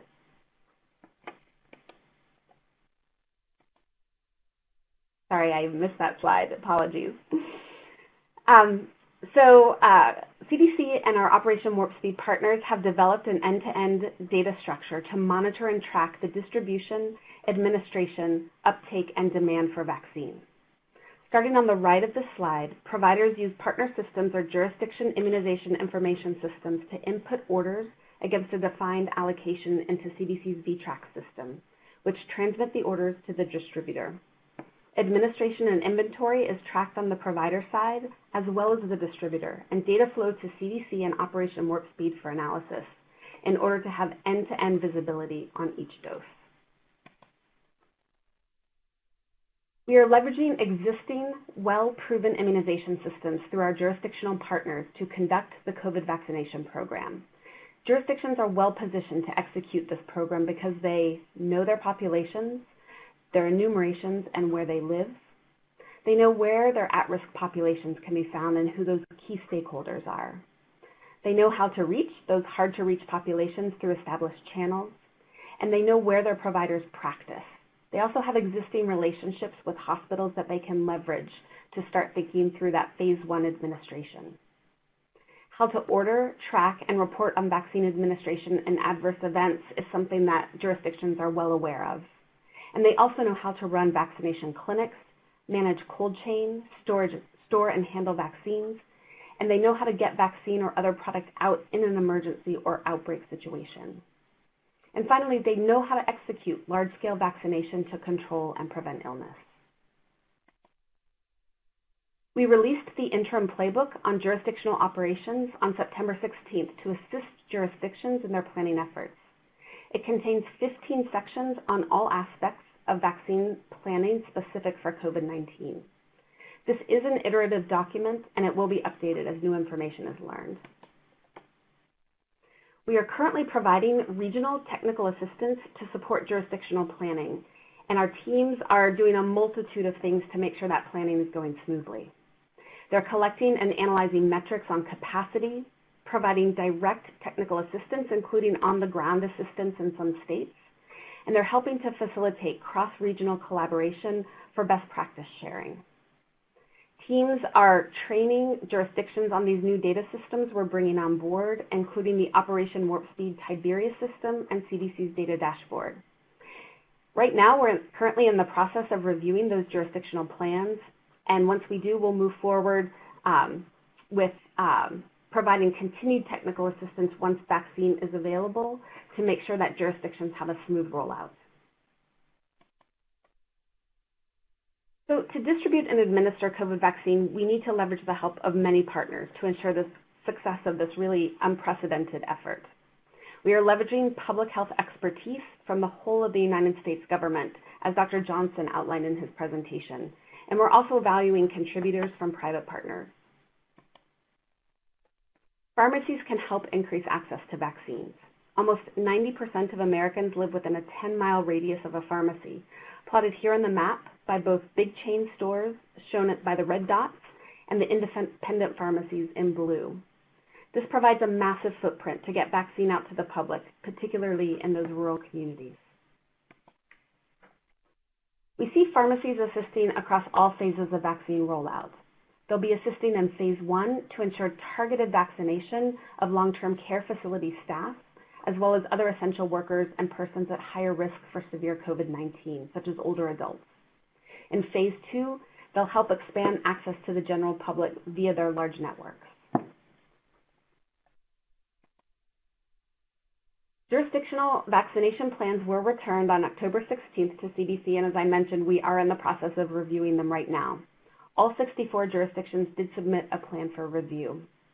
Our next steps are to ensure that at the jurisdictional level, they continue to work with commercial partners and our federal entities who may receive direct allocation to expand access, particularly in phases two and three. We ask that they enumerate their critical populations who may be selected for early vaccine allocation or, again, require that special consideration about, around distribution and access. We're asking that they proceed with the collection of vaccination of vaccine provider agreements to make sure those providers are onboarded. Um, including providers that serve those critical or early access populations. We want to make sure that they have their state data systems, excuse me, uh, connected and uh, the processes to monitor vaccine distribution, uptake, demand, and waste, wastage are all intact. And then finally, we're really asking that they begin engaging with community stakeholders to address the issues around vaccine hesitancy. I can't talk about distribution without addressing concerns about vaccination. We know that vaccine hesitancy is an issue and that we need to rise to the challenge to achieve high coverage, both with seasonal influenza and also COVID-19 vaccines when available. We know that certain racial and ethnic minorities have consistently lower vaccination coverage than others, shown here on the graph of influenza vaccine coverage by season. We need novel and robust strategies to increase vaccine uptake, both for seasonal flu and for COVID-19 vaccine. Focus groups conducted this summer by CDC show that participants were open to get, getting vaccinated eventually, but were hesitant to receive it when first available. Concerns included safety, side effects, um, vaccine effectiveness, and if there was sufficient testing in their group, meaning their age group or race and ethnicity. Participants wanted more information on vaccine products and said they would take a wait and see approach before making a final decision. And most said that a six-month period would be a reasonable time frame to sort of wait and see. Our Vaccinate with Confidence campaign that was developed at CDC is now being used to reinforce confidence in COVID-19 vaccines. We are using frame, this framework as a starting point for communications around COVID-19 vaccine, taking into account the critical factors raised by our focus groups. Using this framework, we will work to reinforce trust by sharing clear and accurate COVID vaccine information.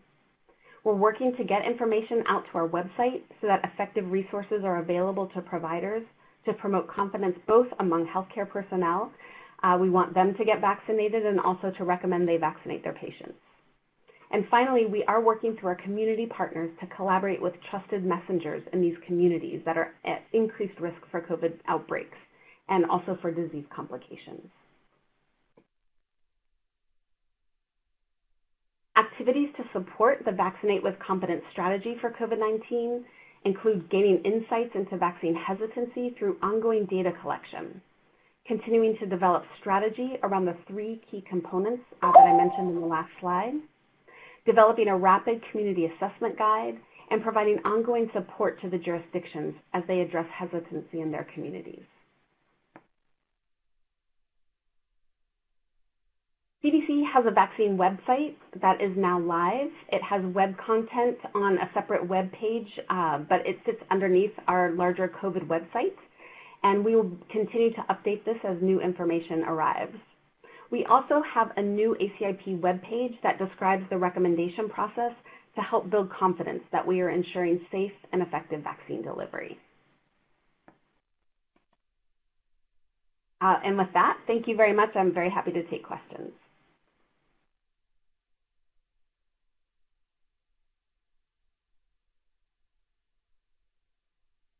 All right, Arnold, we have a few questions Thank that did you, pop up. Thank you, Dr. Routh. Uh, I have a question about uh, procedures. If uh, two vaccines are available at the same time and uh, both require two doses, how do you keep it straight at the uh, clinical sites which vaccine the person has received the previous time?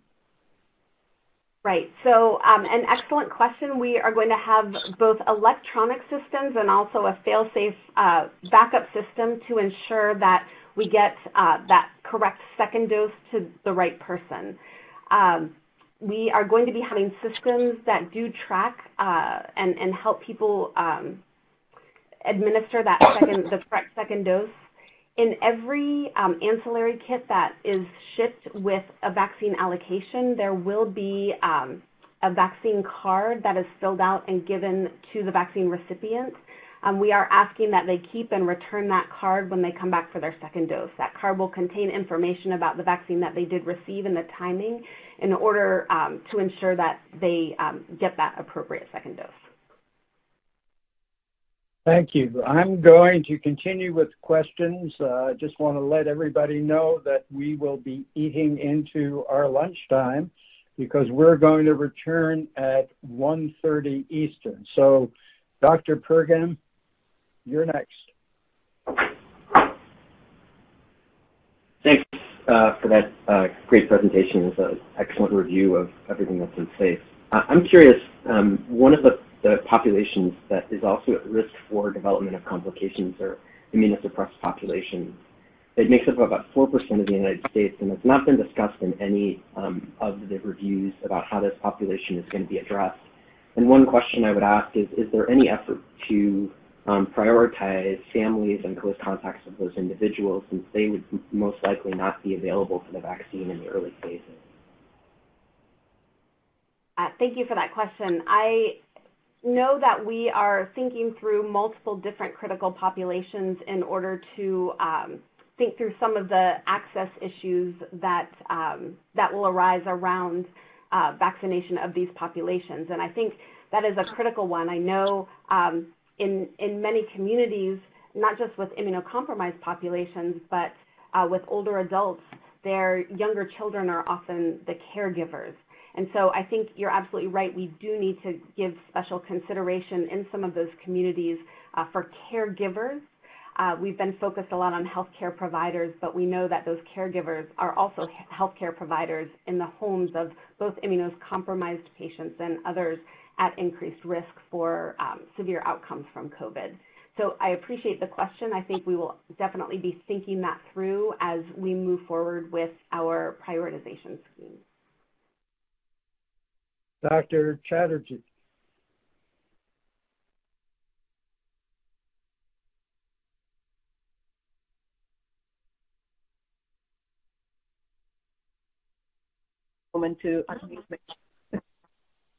So I have a two-part question, um, Dr. Oates. Um, the first is with regard to mandating uh, these vaccines, uh, either for healthcare professionals or uh, emergency management personnel. Uh, has that um, mechanism been uh, discussed, and um, what is the plan, if so? And then the second part is once the vaccines are deployed and appropriate numbers of doses have been administered, um, does the CDC have any plans in place uh, to discuss the use of uh, PPEs and um, other uh, mitigation measures uh, for those who are uh, vaccinated? So uh, two great questions, and um, I'll take the first one, uh, that of mandating vaccination for critical infrastructure workers such as healthcare providers or emergency personnel. I think um, we have not discussed that in, um, it, it's hard to mandate a vaccine. I know even in, in my own experience, um, hospital systems have a hard time even mandating seasonal influenza vaccine for healthcare providers, and I think um, this would be of some something similar.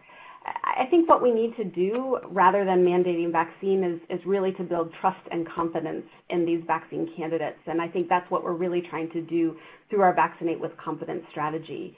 Um, I'd, I'd, much prefer rather than mandating vaccine to, to build that confidence in our healthcare provider infrastructure uh, because that it, it sort of gets at, at two issues, right? One is that you're protecting healthcare providers um, as they're doing their, their daily work. But at the second, the second point is that it really does allow them to feel confident in the vaccine and recommend it to their patients. Um, and so then we just, we continue to spread that message um, out to the general public. So, so I would say um, to answer that, I, I would really prefer to move forward with, um, with the work that we're doing uh, around Vaccinate with Confidence um, rather than thinking through a, a mandate uh, for COVID. Uh, the second question around uh, PPE, you know, I think at this time we don't um, have information yet on the, the effectiveness data of these vaccines once they are rolled out into the general public. And so um, at this time, I would say we would want to continue um, to, to encourage um, good PPE practices, hand washing, masking, et cetera, until we have some better understanding of what the effectiveness is of these vaccines as they're being rolled out. Thank you. Dr. Lee, please be brief. We're eating into our lunch. Um, thank you for the presentation. Um, one question I have is that, as you know, some of the doses, uh, some of the um, vaccines have two doses, and what are the plans to ensure people do come back for the second dose, which is either perhaps 21 or 28 days? Thank you. Right. So we are going to have some electronic and texting reminder systems in order to make sure that people do return for their second dose. I think you know, the other critical piece, as I mentioned, is making sure that they do have a good experience with their first dose administration um, making sure that they get their questions answered, making sure, again, they feel confident in their decision to get vaccinated. And I think that will go a long way to ensuring that they do return. But we do have measures in place, um, again, um, text message system and, and, other electronic systems to, um, to remind people. Uh, everybody's busy, and I know it's easy to forget. Thank you. Dr. Kurilla, Thank you. Uh, you know, beyond vaccine hesitancy, given that all of these, so many vaccine manufacturers are, will be uh, uh, coming out with all sorts of press releases about the status of their vaccine and the phase three data results will be coming along in dribs and drabs throughout. Uh, and given that companies tend to try to take advantage of every promotable advantage, uh, the potential is set up that there will be vaccines available either licensed or under EUA, but something better may be coming along in another two or three months and people want to wait. Um, have you thought about how that messaging is going to go so that everyone is just not waiting for the perfect vaccine? Uh, we've definitely been thinking that through, and um, you know, as you rightly point out, uh, there are lots of different vaccine candidates right now. I, um, some are two doses. Uh, the ones that may be coming uh, later are a single dose, and so I, I, think it is that together with some of the work that we've done to um, understand vaccine hesitancy um, does make a case that people may be waiting to see uh, what those first candidates are and and whether um, and, and, whether they should wait for for a more quote unquote favorable candidate. I think that's not the message we want to convey, and so we're working hard um, with within our own strategy to um, help people understand that you know vaccination is is one of the key tools that we have to um, to start to, to get our, our lives and, and uh, back on track and the, and the things that we like to do, uh, visiting friends and family.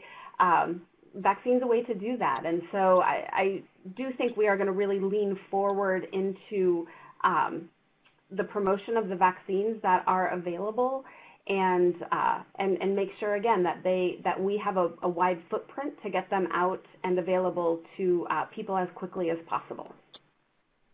Mr. Toubman. Yes, uh, thank you. Um, I have a concern about the allocation and prioritization with regard to people living in congregate settings. There's been a lot of discussion about nursing homes for obvious reasons. We have a very high percentage of deaths occurring there. But in jails, prisons, mental health hospitals, and other congregate living situations where social distancing is just not possible. Hygiene is very difficult. Um, I'm wondering if CDC is looking at prioritizing all target uh, living you know, settings. Yes, so I, I will tell you I don't have information on that yet. I know that uh, ACIP is still in deliberations around that prioritization structure. I think we, we did get some information from the National Academy of Science and their prioritization scheme, but um, ACIP will be uh, will be doing their own deliberations and, and coming up with that once vaccine candidates are um, moving forward into that authorization. So at, at, this time, I think I can't answer your question uh, completely, but I know um, we are certainly taking uh, people living and working in congregate settings under consideration in that prioritization scheme. Okay, and finally, Dr. Cohn. Thank you. Um, I just want to um, thank uh, Dr. Ritz for her great presentation and to clarify um, one point, which is uh, just to, uh, for the public record, that uh, the federal government cannot mandate vaccines. Um, so mandates have been shown to increase coverage in some settings, um, but uh, the federal government would not be mandating use of these vaccines. Um, organizations such as a hospital um, with licensed products uh, do have capability of, of, of, of, asking their workers to get the vaccine. Uh, but in the setting of an EUA, uh, patients and individuals will have the uh, uh, right to refuse the vaccine. Over. Okay, well, thank you very much, and thanks to all the presenters. As I promised, uh, we are going to start again at 1.30 we will be at that point only 15 minutes late. So I think we're doing very well. Thank you all and see you at 1.30.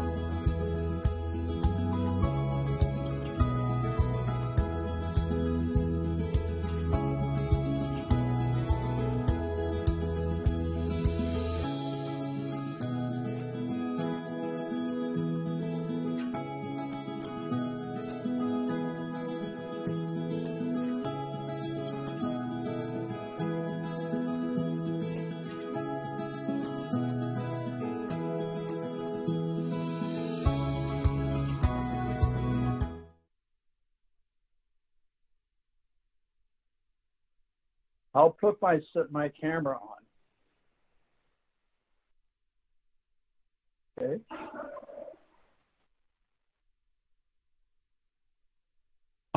Okay, Dr. Monto, we are back live and back from break. Uh, why don't you take it away? All right, welcome back. Uh, sorry for the short lunch. Uh, we're next going to hear uh, from Susan Winckler and Chris Wilkes uh, about COVID, uh, COVID-19 vaccine confidence. They're from the Reagan Udall Foundation.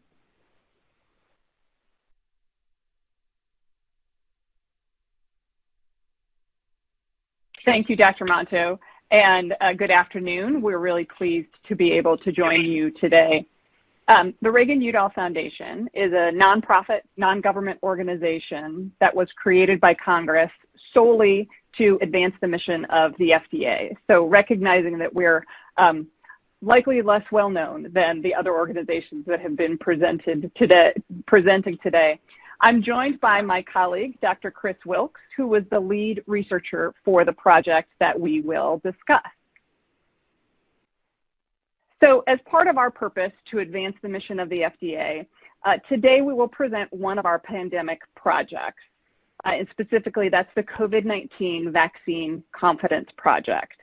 As mentioned by prior speakers, uptake of the COVID-19 vaccine will be really important when we get to the point where there is an authorized or an approved vaccine or vaccines available. In this project, we are working with CBER to help them to understand the public perceptions about COVID-19 vaccines and the center's role in vaccine approval or authorization, and to identify what information key audiences want as they determine whether to receive an approved or an authorized vaccine. Uh, I'll walk through the stages of our project, but we're focusing on two specific populations in frontline workers as well as often underrepresented communities. And the goal is to work quickly to develop some information that will be helpful to the agency. I want to note that this is a rather narrow project looking at FDA's role and then key audiences' interest or questions that they may have about that role in a COVID-19 vaccine and how it is that CBER might respond to those questions or concerns. Our project goes through a four-step approach. And so we began um, in August and September doing a quick analysis of key themes in media and social media. And this was to help inform our listening sessions. So this was to see what is it that is being reported in the media as a dynamic uh, uh, or questions or concerns about a COVID-19 vaccine. We are then conducting listening sessions, and we are deep in this stage right now. And our intent here is to listen to opinions and attitudes from different groups about a COVID-19 vaccine. We are distinctly in this stage gathering information. So we are listening in these sessions. We are not responding nor educating, but rather listening to what it is that the participants in these, these sessions say. We'll then take that information, take what we heard, and construct approaches for how one might respond. And look, there we'll be looking to develop um, messages or responses that respond to those concerns or questions, as well as teeing up the messengers who would be best positioned to deliver those messages. And then, uh, then to test the messages and messengers to assure that they're relevant and credible to key audiences. So our focus today is to report out our initial insights from these listening sessions.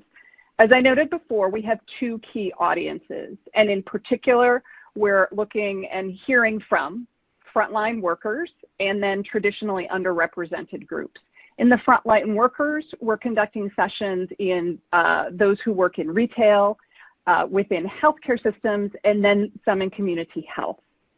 In the traditionally underrepresented groups, uh, we've talked about this within our project, this is prioritizing those whose voices are often not heard and trying to make sure that we hear from them about their concerns and opinions. And so here we're conducting the listening sessions with African American black men and women, um, the Black and Latinx community leaders, English as a second language, and um, two different approaches in indigenous, indigenous and Native people. So those are who we are hearing from. The bulk of my presentation, of our presentation, will share what we are hearing. We've conducted eight listening sessions to date and have four or five more in the queue to complete in the next few weeks. As a component of these listening sessions, we assure the participants that we will not connect them with uh, specific comments, but rather that we will protect their information. What we're going to do in the next few slides is to share with you direct quotes from these listening sessions. So we have organized some of these quotes into themes that are emerging um, so that we can share them with you. As we've described these sessions, um, you could sum it up and say that they have been powerful, illuminating, and sobering. And I hope as we share these direct quotes as an illustration of what we're hearing, that um, you too will have the opportunity to, to learn from these sessions. I'll note that in presenting these quotes, we aspire to share the, the words of the listening session participants, but we do not intend to replace the, their individual voices with our own.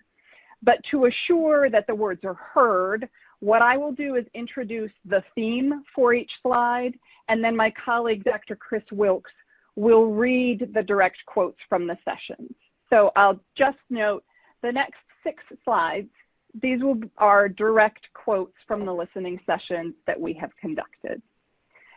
The first theme that we heard is a concern about the speed of the process and how quickly it is that uh, things are moving forward. Dr. Wilkes? The speed is appreciated, but there are questions. They want to get one out as soon as possible, which I don't think is very safe. We all know how long vaccines take, so to hear that it will be ready in a few months is concerning. I would not be first in line, and I would want to see some data. Vaccines take years to develop and test. For them to try to do it in a year is pretty absurd. Thank you. The next concern was a very a specific distrust of government and government agencies.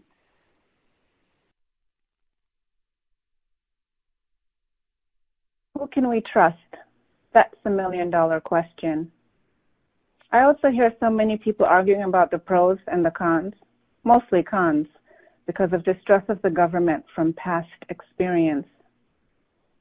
When COVID first came out, I trusted the CDC website and was sharing from there. But now I trust the FDA and CDC much less than I did when this first came out. I don't think the FDA can be trusted to keep people safe. When I hear the FDA say that they have a particular process, but then I hear the White House say they can cut it in half or negate it, that brings more distrust. Thank you. This distrust, however, was not limited to government um, but rather extended to components of the broader healthcare system. Dr. Wilkes? Thank you, Susan. I'm looking for an organization I can trust that does not have a tainted history and has not been brought, by, brought, out, brought out by some big pharma. A family has had issues in a wrongful death suit with local, wrongful death with local hospitals. I have a major distrust I've become really not trusting of the medical establishment. They never answered my questions. Doctors are going to be pushed to sell this, the vaccine, to our community. I would not like you to sell me, but show me and tell me. Educate me. African Americans are treated differently by doctors.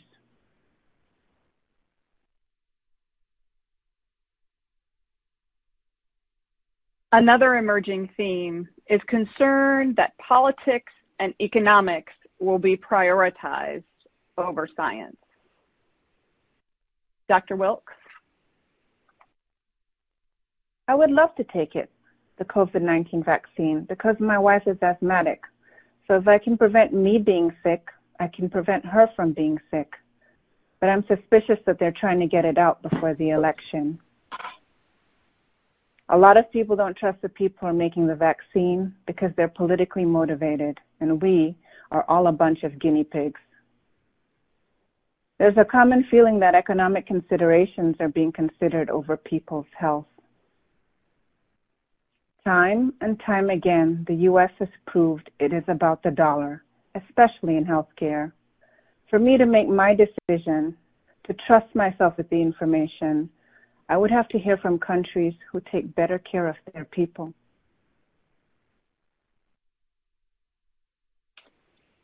Another insight relates to fear that the vaccine will not work for individuals or for their community. Dr. Wilkes?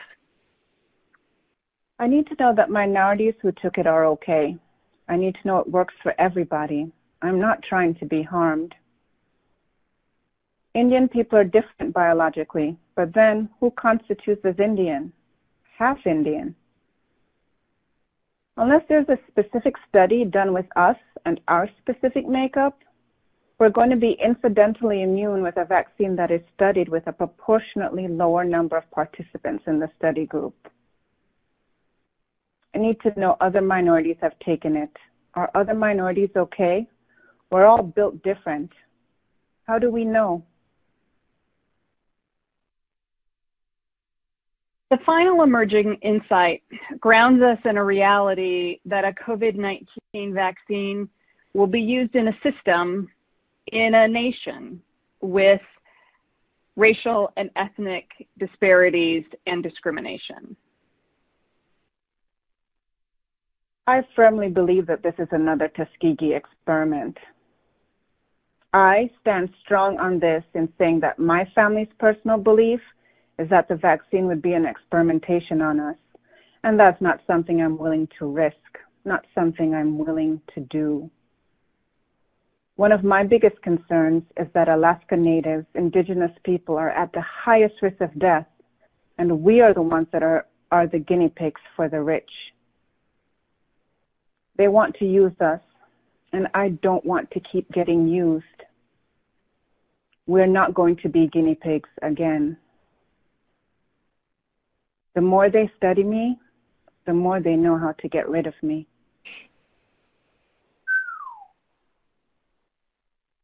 This concludes the direct quotes from our listening sessions, but I hope that you found them illuminating. As we aspired here, our intent was to gather the concerns to then help be able to generate the responses to those concerns and questions. So in a manner that's consistent with CDC slides before the break, we know we have a lot of work to do in this space. And here are some of our initial learnings. That there is interest in the science and how the science relates to individuals. That they want to, want to understand the process and for it to work. When we think about messengers, that personal relationships will matter with doctors and other healthcare providers and that timing matters in perceptions of safety on at least two levels, both in development and in uptake of a, of a vaccine. Uh, some of our listening session participants noticed, noted rather, that they would want to wait months or even years before choosing to receive a vaccine. There's also a fifth dynamic in that when we conducted these sessions, the individuals focused on a COVID-19 vaccine.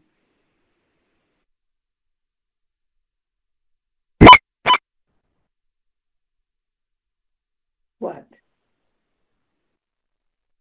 Dr. Winckler?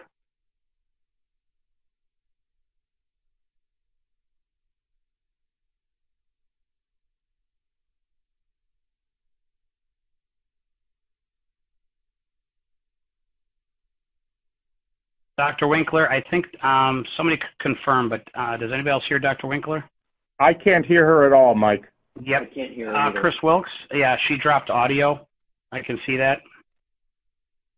Or Dr. Wilkes, I can't hear think. her or Dr. Wilkes. Are Yep, you able to hear her? They're me now? reconnecting. Here she comes. Here comes Dr. Winckler. We'll just give her a second.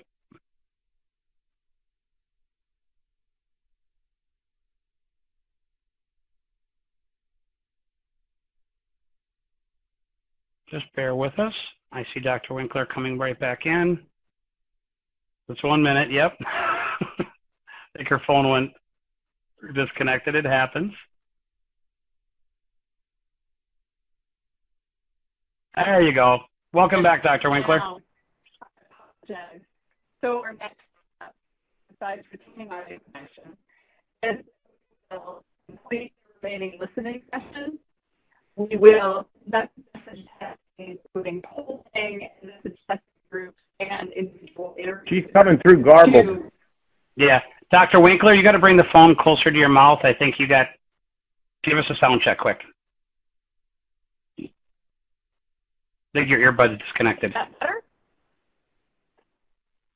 Go ahead. And so finally, we'll delete. Good news is that's last. I'm going to hear me answer questions.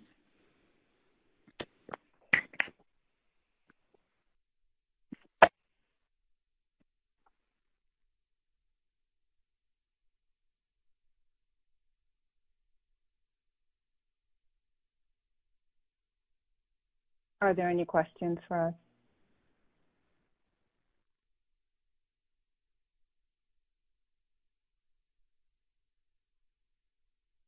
Why, why don't we go on to the next presentation? Because the time's expired anyway.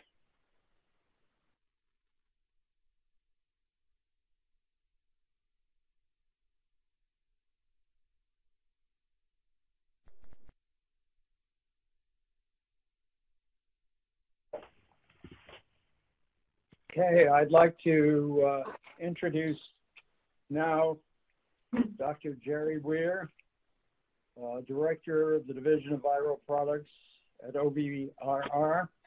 He will be talking to us about licensure and emergency use authorization of vaccines to prevent, prevent COVID, uh, COVID-19, chemistry, manufacturing, and control considerations. Jerry. Uh, thank you and good afternoon. Uh, this will be a fairly short presentation. Uh, what I'm going to try to do is uh, describe briefly the role of the CMC uh, chemistry manufacturing controls in licensure and, and EUA uh, use. And by using a few examples, uh, key examples, try to illustrate the complexity and the importance of CMC in both of these processes. Uh, the next two slides are going to give a, just a brief background. Uh, chemistry manufacturing controls and facility information and data are critical to ensure the quality of vaccines and the consistency of vaccine manufacture. Licensed vaccines must meet statutory and regulatory requirements for quality manufacture and control. You heard this in the introduction earlier this morning. All vaccines must be safe, pure, and potent, and manufacturing and facilities must be in compliance with applicable standards. But also sufficient information must be provided for vaccines that will be used under emergency use authorization to ensure vaccine quality and manufacturing consistency. As you've also heard many times today, COVID-19 vaccine development may be accelerated based on knowledge, may be accelerated, and some of that acceleration may be based on knowledge gained from similar products manufactured with the same well-characterized platform technology. What this means is that some aspects of manufacturing control may be based on the vaccine platform.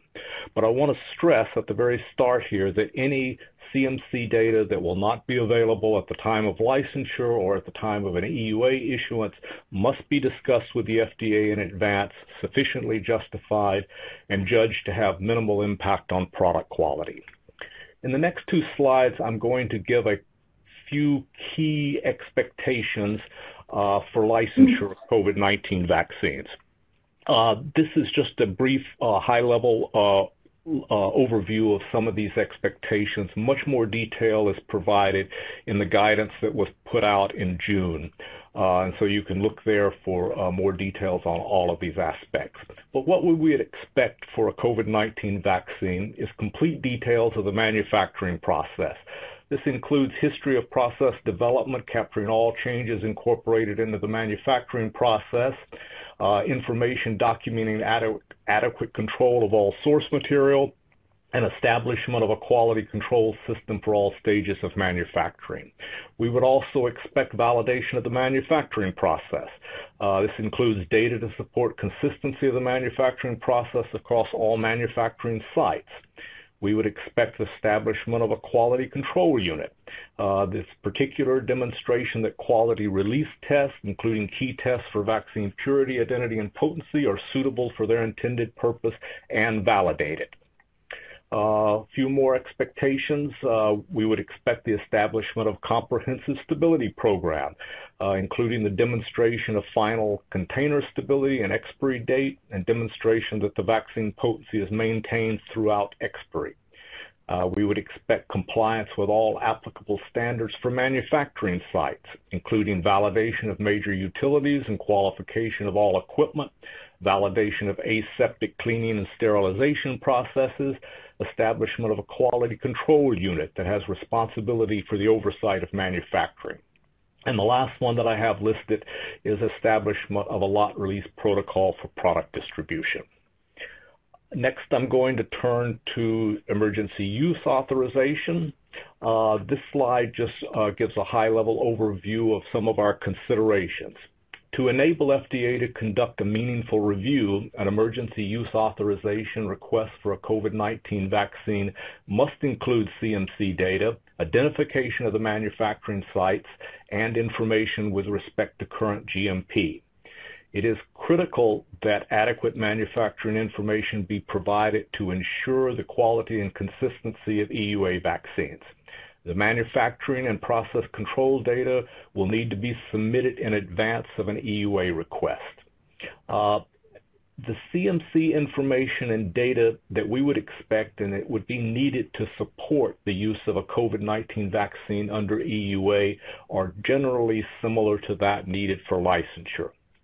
In the next two slides, I'm going to once again just highlight some of the key expectations. Again, these are provided in much more detail in the recently released guidance document earlier this month. Uh, so this is sort of a high-level overview. Uh, I, you'll notice italics in some of the uh, bullets that follow in this slide and the next slide, and all that means is that these are, I put them in italics just to sort of point out some slight differences with the licensure process. But here are some of the key expectations from our guidance document. For an EUA application, uh, we would expect, again, complete details of the manufacturing process. We would expect validation of the manufacturing process. We would expect establishment of a quality control unit. Uh, we would also expect a stability plan that includes tests for product safety, quality, and potency, and stability data from all available developmental and clinical lots to support the use under EUA. This stability data would be necessary to support investigational use of the product under EUA. Uh, we would also, okay, uh, I want to say that expectations for manufacturing facilities will be similar to those for licensure. This was brought up earlier this morning in one of the questions, uh, and it's true that the inspection process is technically applies to the licensure process, but as I've already pointed out uh, a couple of slides ago, we have made it clear that we expect at the time of a submission for an EUA application that all manufacturing sites be identified as well as their uh, GMP compliance status. And what we are expecting to do is that we will have uh, GMP compliance assessed using site visits and other submitted information to ensure that the products in the manufacturing facilities uh, are GMP compliant. And finally, the last one that I've listed is that the appropriate quality specifications established for all drug products used, lots used under EUA and testing results would be submitted at the time of vaccine distribution. The reason I mention this one is because the FDA regulation for lot release does not apply to investigational products, including those distributed in a What? Oh, I'm back. Okay. The reason for this, to pointing this out, is because the lot, even though the lot release, uh, the FDA regulation for lot release doesn't does not apply to investigational drugs, uh, we expect to obtain essentially the same information uh, in other ways.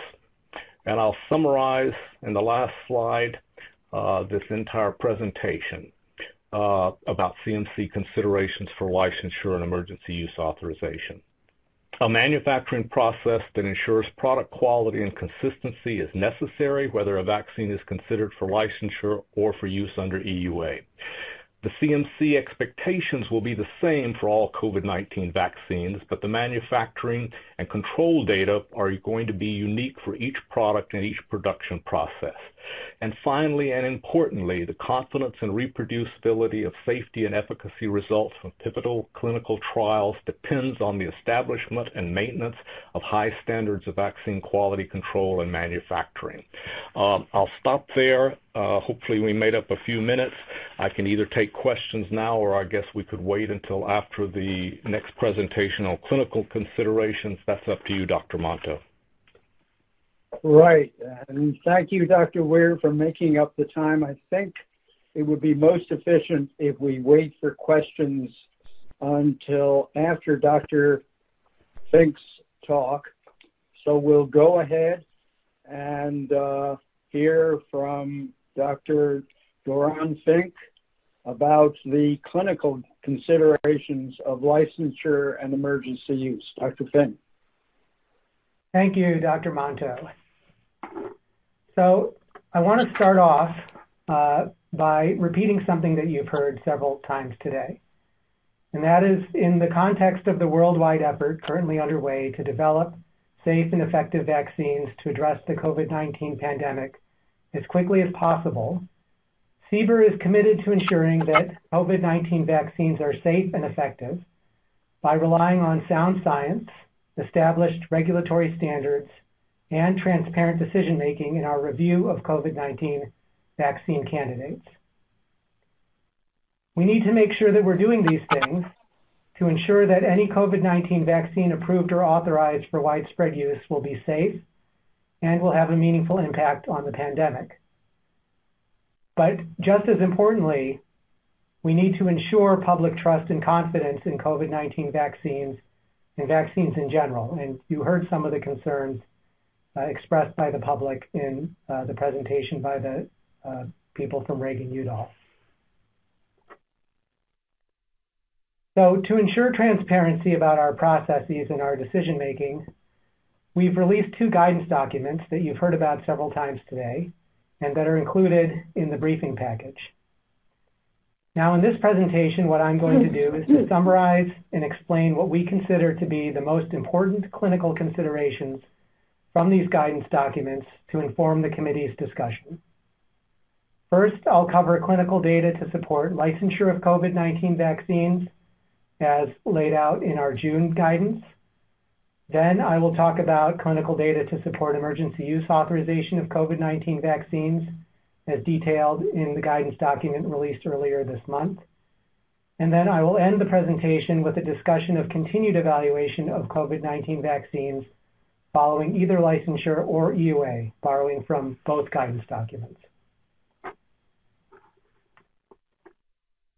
To lay the ground rules, I want to remind the committee and the public that CBER has an expectation for randomized, blinded, placebo-controlled trials to provide direct evidence that a vaccine protects against SARS-CoV-2 infection and or disease.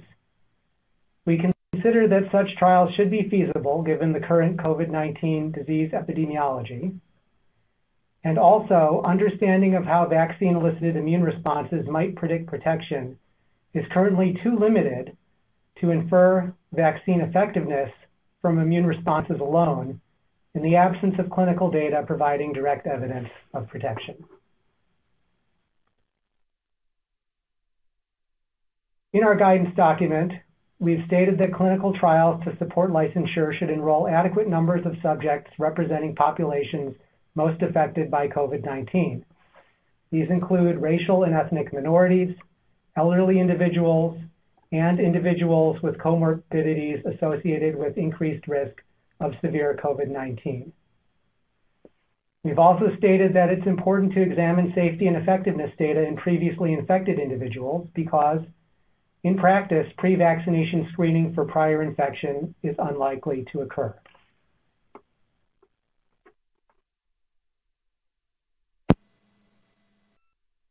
There are a variety of effectiveness endpoints that could be evaluated in phase three trials for COVID-19 vaccines. Most of the trials underway currently are evaluating COVID-19 disease of any severity. However, most of these trials also include endpoints related to more severe COVID-19 disease and also SARS-CoV-2 infection, whether or not symptomatic. We have recommended standardized case definitions to be used in pre-specified analyses for both disease of any severity and also severe disease. However, we have not specified any requirement or preference for a specific endpoint to be used in the primary analysis of vaccine effectiveness. Again, most of the studies currently underway are using disease of any severity as the primary endpoint Uh, to be analyzed.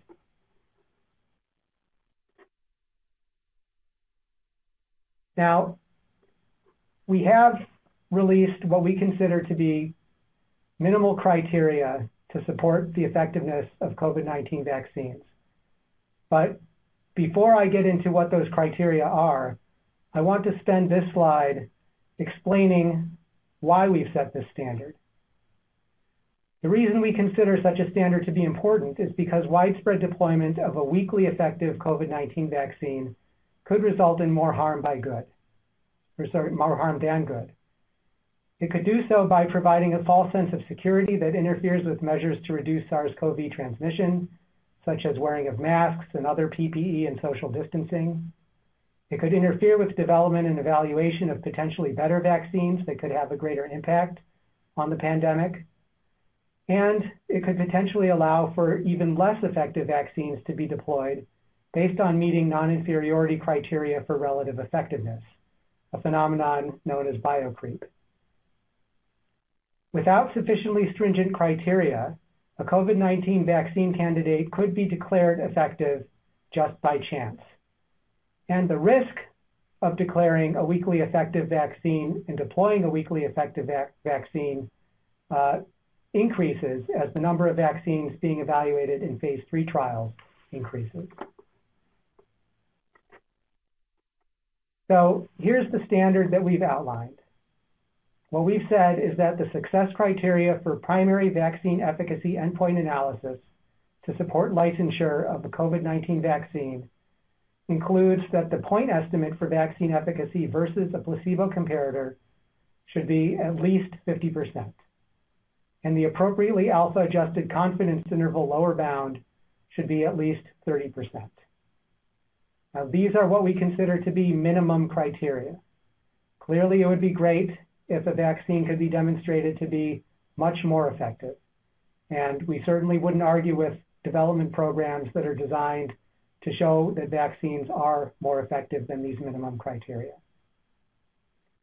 We've also outlined that secondary efficacy endpoint analyses to further inform protective effect and to be described in vaccine labeling could be tested against a less stringent lower bound, greater than 0%. However, this testing would be contingent upon meeting the primary endpoint criteria first. We also recognize that there are some populations for which it may not be feasible to directly demonstrate vaccine effectiveness using a clinical disease endpoint. For example, pediatric populations where the attack rate of symptomatic COVID-19 disease is much lower than in adults. And so for these populations, following direct demonstration of protection in another population, for example, adults, as are currently being evaluated in ongoing phase three trials, effectiveness of the same vaccine could be inferred in a second population by immunobridging. This immunobridging approach would be based on comparison of one or more immune response biomarkers between populations using pre-specified criteria and presumes that disease pathogenesis and mechanism of protection in each population are similar. Turning now to data to support safety of a licensed COVID-19 vaccine, I want to reiterate that our general expectations are no different than those for safety data that have supported licensure of other preventive vaccines. And this includes a safety database of at least 3,000 subjects in relevant age groups exposed to the vaccine regimen intended for licensure. So just to be clear, uh, a safety database of at least 3,000 younger adults and at least 3,000 elderly subjects. We don't anticipate any issues with meeting this standard for COVID-19 vaccines that are currently in phase three trials. These trials are enrolling substantially larger databases and will have a placebo control group as well. Our guidance document goes into additional details about safety uh, data needed to support licensure. For sake of time, I'm not going to go into those details right now. There are some additional considerations that are important to the benefit risk assessment for a COVID-19 vaccine because these considerations may have limited data to address them at the time of a successful case-driven interim or final efficacy analyses.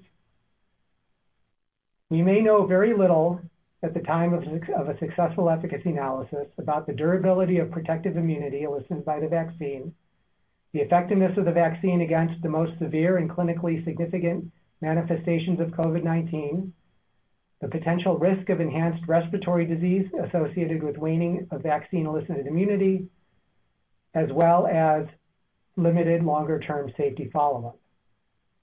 And therefore, even following a successful efficacy analysis that meets our pre-specified criteria, additional follow-up would still be warranted to further inform the benefit risk assessment for licensure, as well as to inform labeling. And I'll talk about that a little bit more in the last third of my presentation. I'm going to turn now from licensure to emergency use authorization. As you've heard earlier today, an emergency use authorization for a COVID-19 vaccine may be requested to allow for the vaccine's rapid and widespread deployment for administration to millions of individuals, including healthy people. And in this scenario, a determination that a COVID-19 vaccine's benefits outweigh its risks would require data from at least one well-designed phase three clinical trial that demonstrates the vaccine's safety and effectiveness sufficient to support such widespread use. I want to make sure that everyone understands that as with vaccine licensure, issuance of an emergency use authorization would specify use only in those populations for which the available data support favorable benefit risk.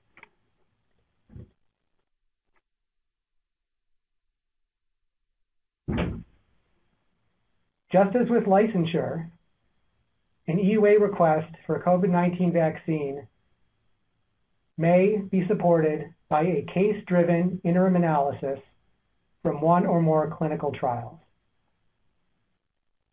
However, this type of case-driven interim analysis may come very quickly with the large clinical trials currently underway, especially if attack rates are very high.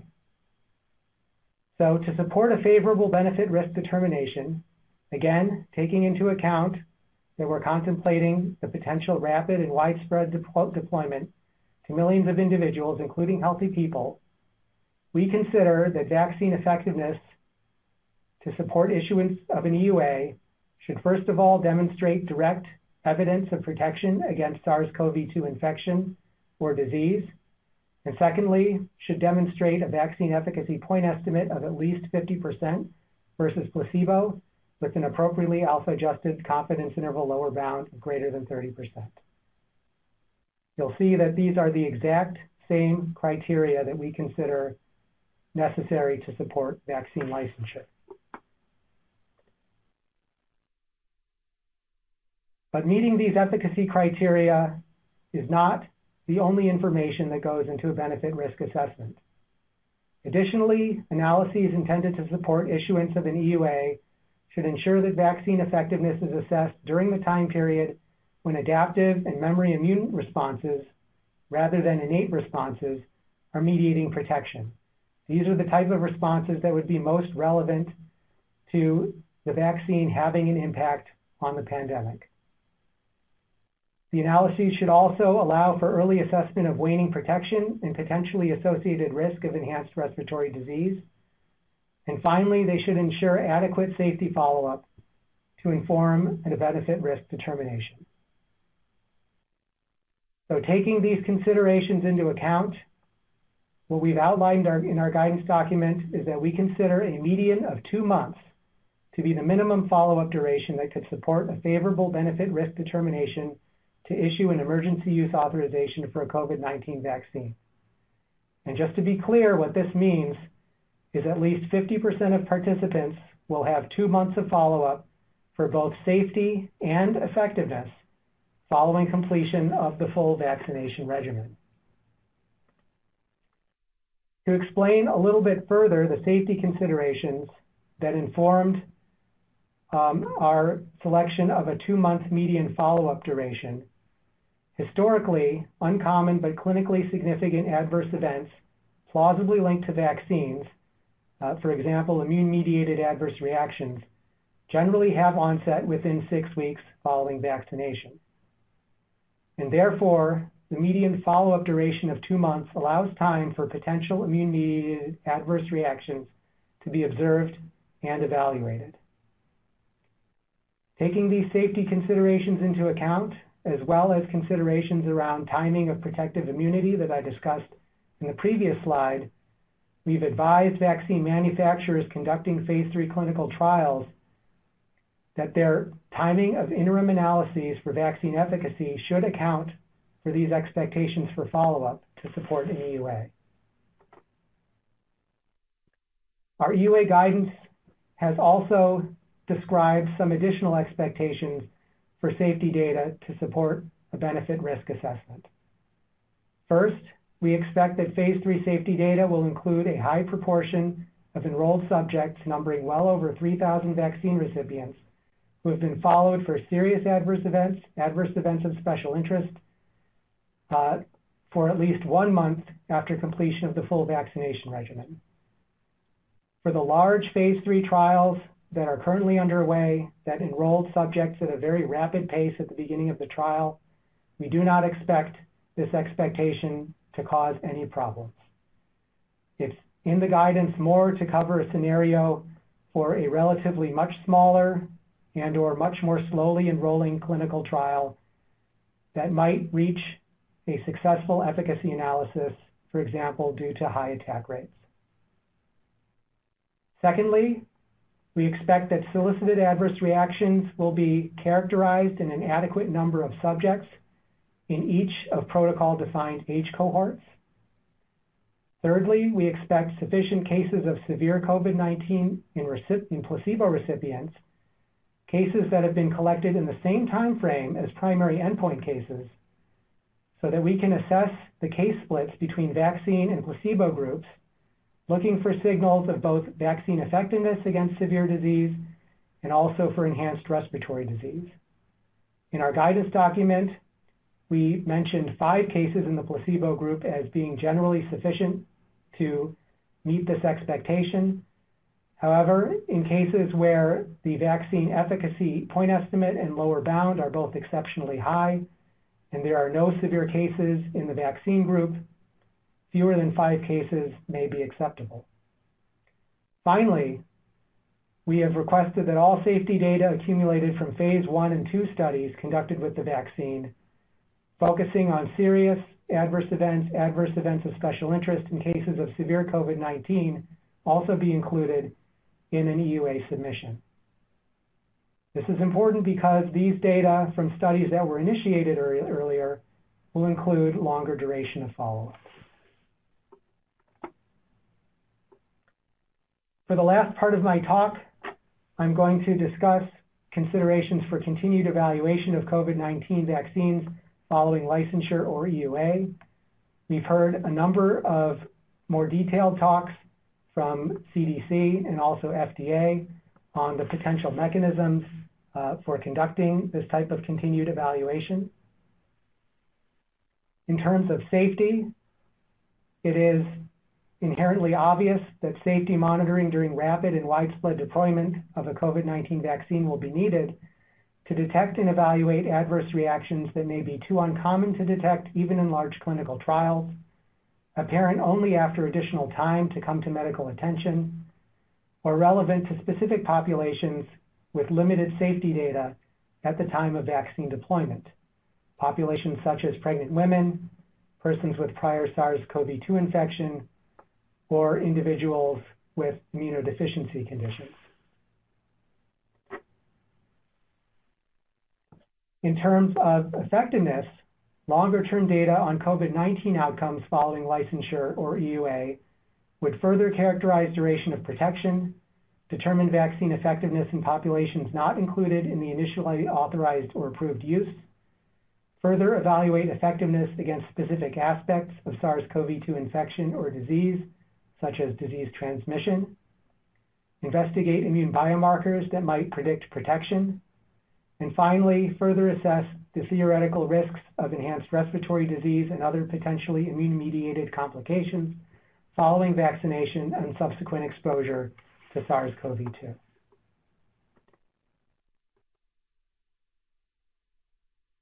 We consider that evaluation of a COVID-19 vaccine after licensure or EUA should occur through a combination of pharmacovigilance activities, including both active and passive safety monitoring during deployed use of the vaccine, continuation of blinded follow-up in ongoing placebo-controlled trials for as long as is feasible, and observational studies, including those that leverage healthcare claims data to evaluate safety and effectiveness outcomes. You heard about these types of observational studies in presentations given earlier in the day. Additionally, CBER may require post-licensure studies to address known or potential serious risks identified during review of a licensure application.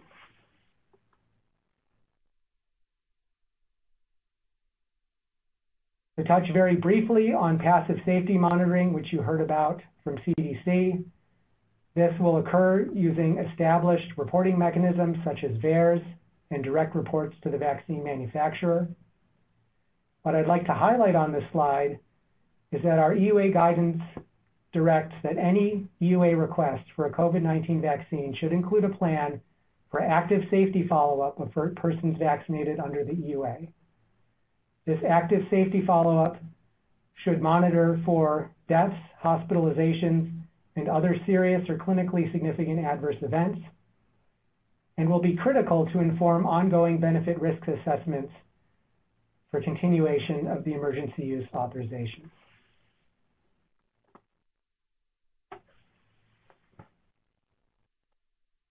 I want to spend the last two slides talking about continuation of placebo-controlled trials. In our EUA guidance released earlier this month, we have stated that CBER does not consider issuance of an EUA for a COVID-19 vaccine in and of itself as grounds to immediately unblind ongoing cl clinical trials and offer vaccine to placebo recipients. The reason why we have made this statement is that a COVID-19 vaccine made available under an EUA will still remain investigational. As I've outlined in previous slides, safety and effectiveness data to support an EUA may be collected under a relatively short follow-up period a median of two months following completion of the vaccination regimen. Much shorter as compared with data that have supported licensure of other preventive vaccines, and shorter than the follow-up that we would expect to support eventual licensure of a COVID-19 vaccine.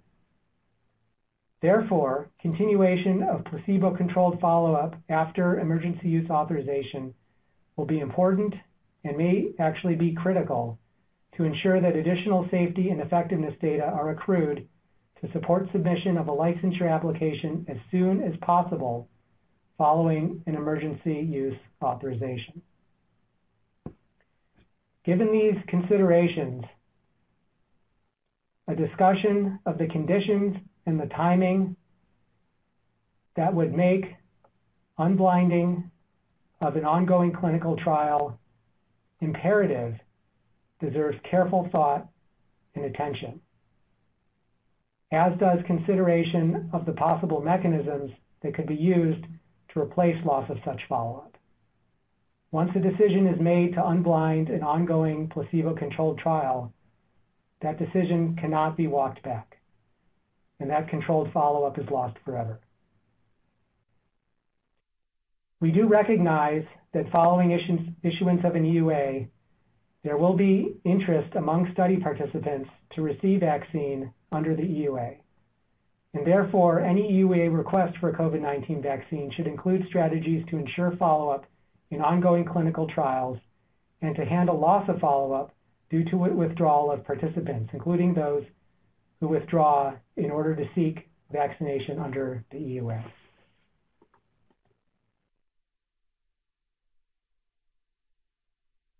I would also like to note that availability of a licensed vaccine does not automatically preclude continuation of blinded placebo-controlled trials. Specifically, in populations for which the licensed vaccine is not yet approved for use, and in populations for which the licensed vaccine is not sufficiently available to address public health needs.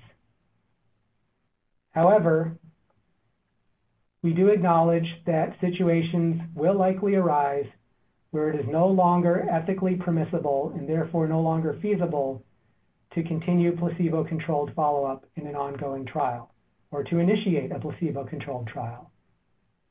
In those situations, if widespread availability of a licensed COVID-19 vaccine precludes use of a placebo comparator, then the licensed vaccine could be used as a comparator to evaluate relative vaccine efficacy of other vaccines testing the confidence interval lower bound against a non-inferiority margin. These types of non-inferiority trial designs require much larger uh, sample sizes than placebo-controlled trials. And so feasibility will certainly be an issue. But there may be innovative and novel uh, clinical trial designs that could help to reduce the size of such trials. We are also aware that uh, there is interest in inferring effectiveness of a vaccine solely from comparison of immune responses between vaccines, i.e. comparing a new vaccine to one that has directly been demonstrated to be effective. However, such an approach would require further discussion as currently the understanding of mechanism of protection is too limited to support this approach. That's the end of my talk, and I will open it up to any questions.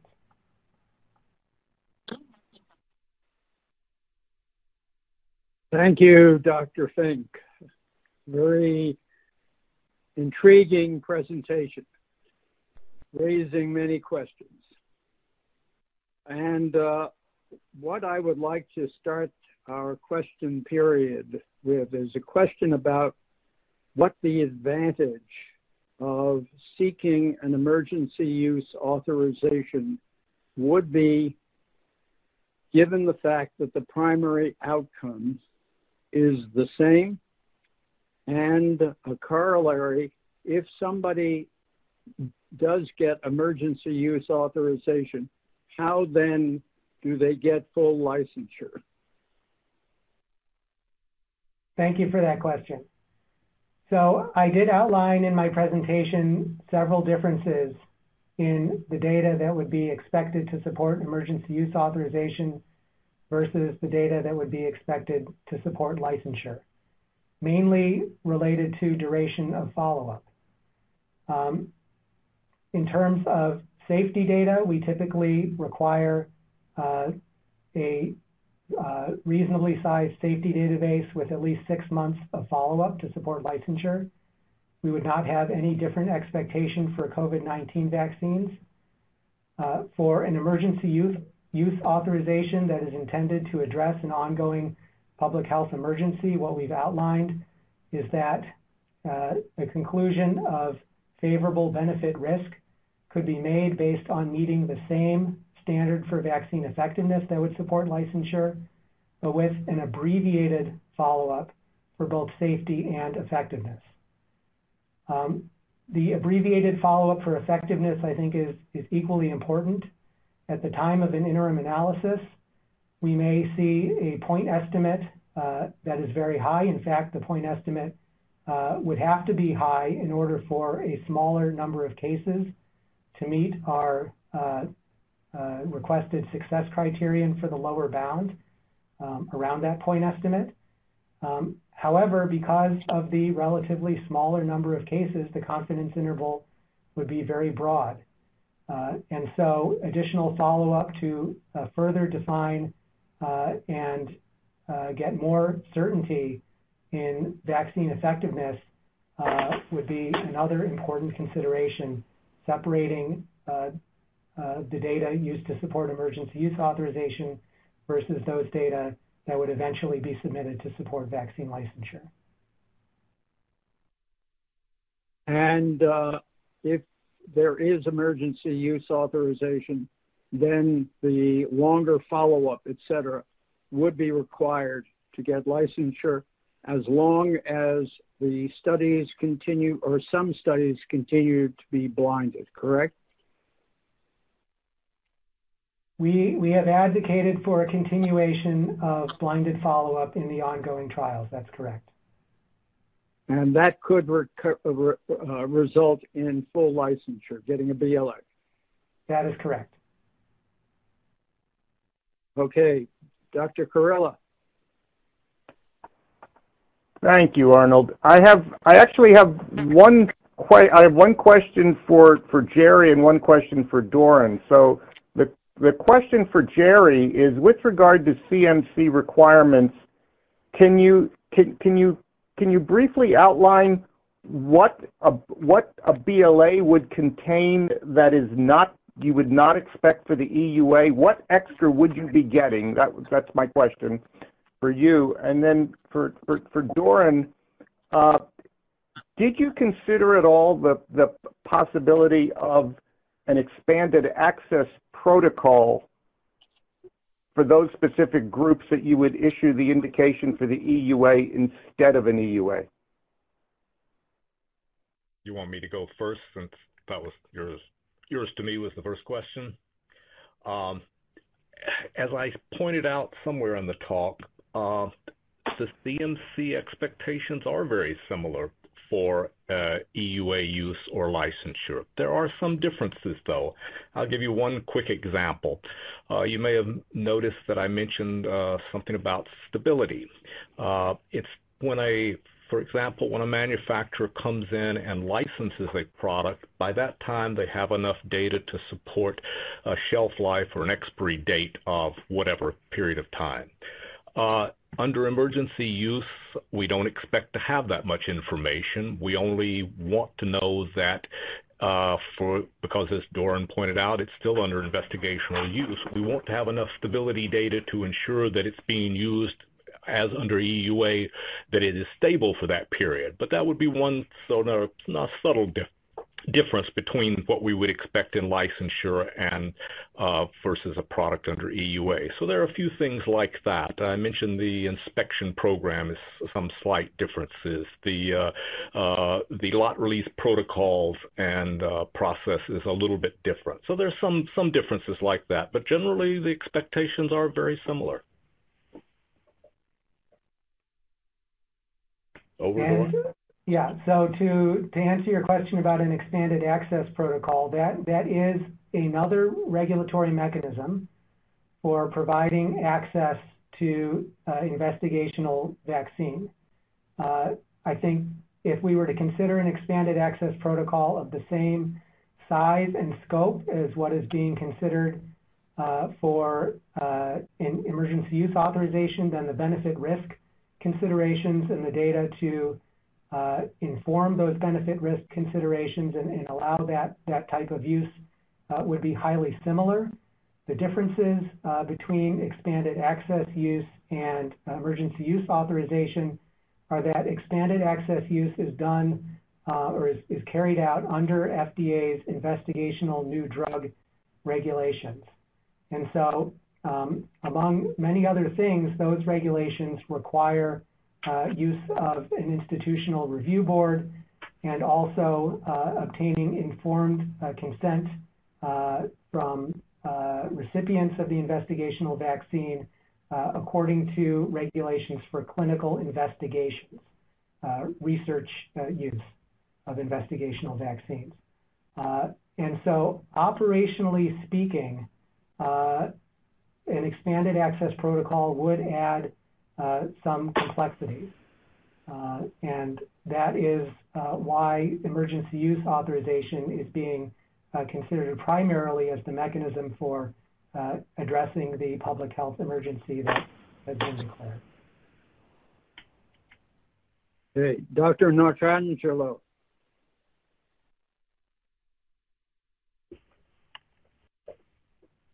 Thank you. Uh, uh, my questions are actually for Dr. Fink. Thank you very much, Dr. Fink, for a very clear presentation. I really appreciated it.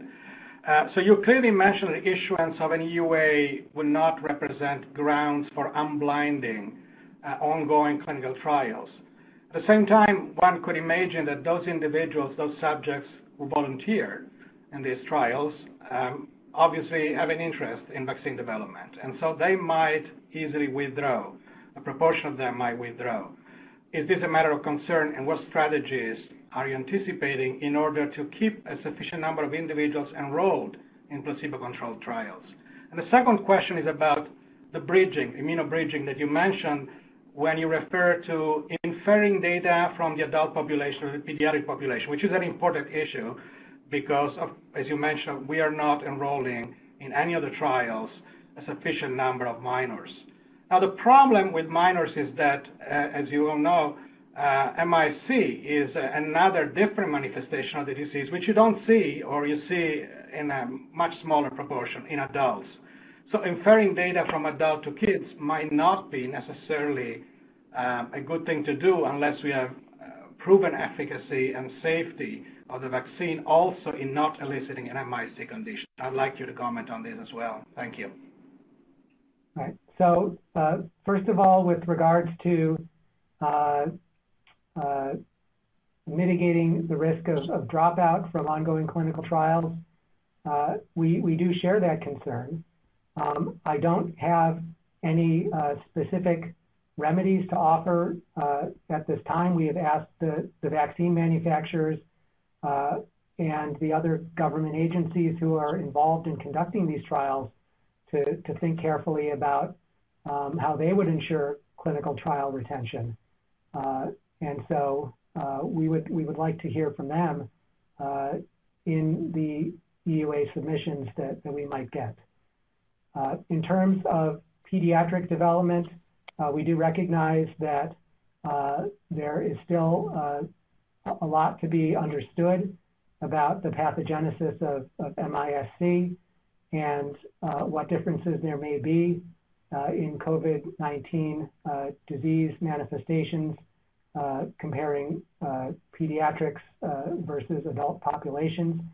for the time being, we have considered that adolescents are sufficiently similar physiologically to adults, and in general, we have an established paradigm, uh, an established framework of age de-escalation uh, once there is uh, enough uh, data, including both clinical and non-clinical data from animal studies to support a prospect of benefit uh, in pediatric populations as well as sufficient uh, safety data in adults uh, to reasonably understand the potential risks in pediatric populations. And so we have been advising vaccine manufacturers in their development programs to at least uh, start with consideration of enrolling adolescents uh, in clinical trials and uh, then further considerations for lowering uh, the age groups uh, involved in vaccine development can proceed. Dr. Offit.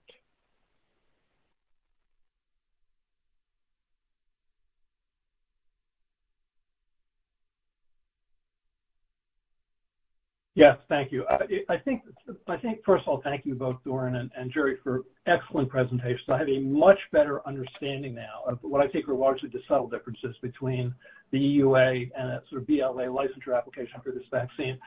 So I think, and it sort of underlines for me what I think is our problem. I think we have a language problem. I think when people hear the term emergency use authorization, what they hear is not necessarily an approved or authorized product. They hear a permitted product which is to say that you are permitted to use it as you would any investigational new drug or phase one product, which is a very low bar. Uh, so, so hydroxychloroquine was permitted for use. I mean, convalescent plasma was permitted for use, even though neither worked.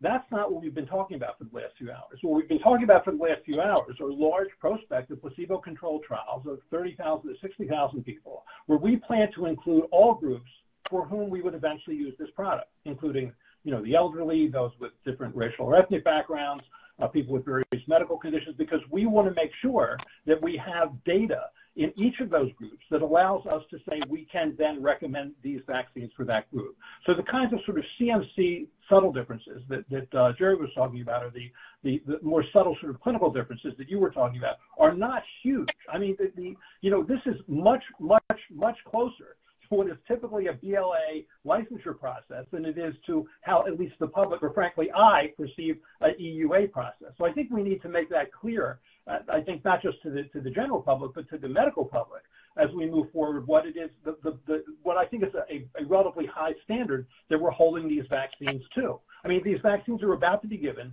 to a lot of healthy young people who are unlikely to die from this, this uh, virus, which is why you got the kinds of uh, uh, comments that you saw from Susan and Chris earlier. They, the people think that there are critical safety guidelines or, or efficacy guidelines that are being curtailed, but that's really not the story. I, I just, I wish we could get used to the word, rid of the word EUA. I was going to make the recommendation, let's just do it through a BLA and, and licensure process, but I see there are subtle differences that would make us, make it so that we couldn't do that, at least not initially. Am I right in, in this, in this perception? Yeah, th thank you. I, I think you you um, you described the considerations very well. And um, yes, some of these differences are subtle, but but some of them are are not so subtle in terms of timing. Um, and so what what an EUA could accomplish would be to make a vaccine that has been vetted by very stringent criteria um, available much sooner than would be possible uh, with a with a BLA with, with licensure. Um, and so I, that I think is, is a key message is that the, the evaluation criteria uh, remain very stringent, um, but it, it does allow access sooner to address the pandemic.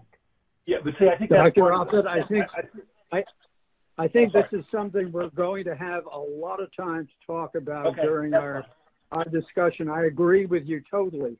Uh, I, that's why I asked my question about how different it is.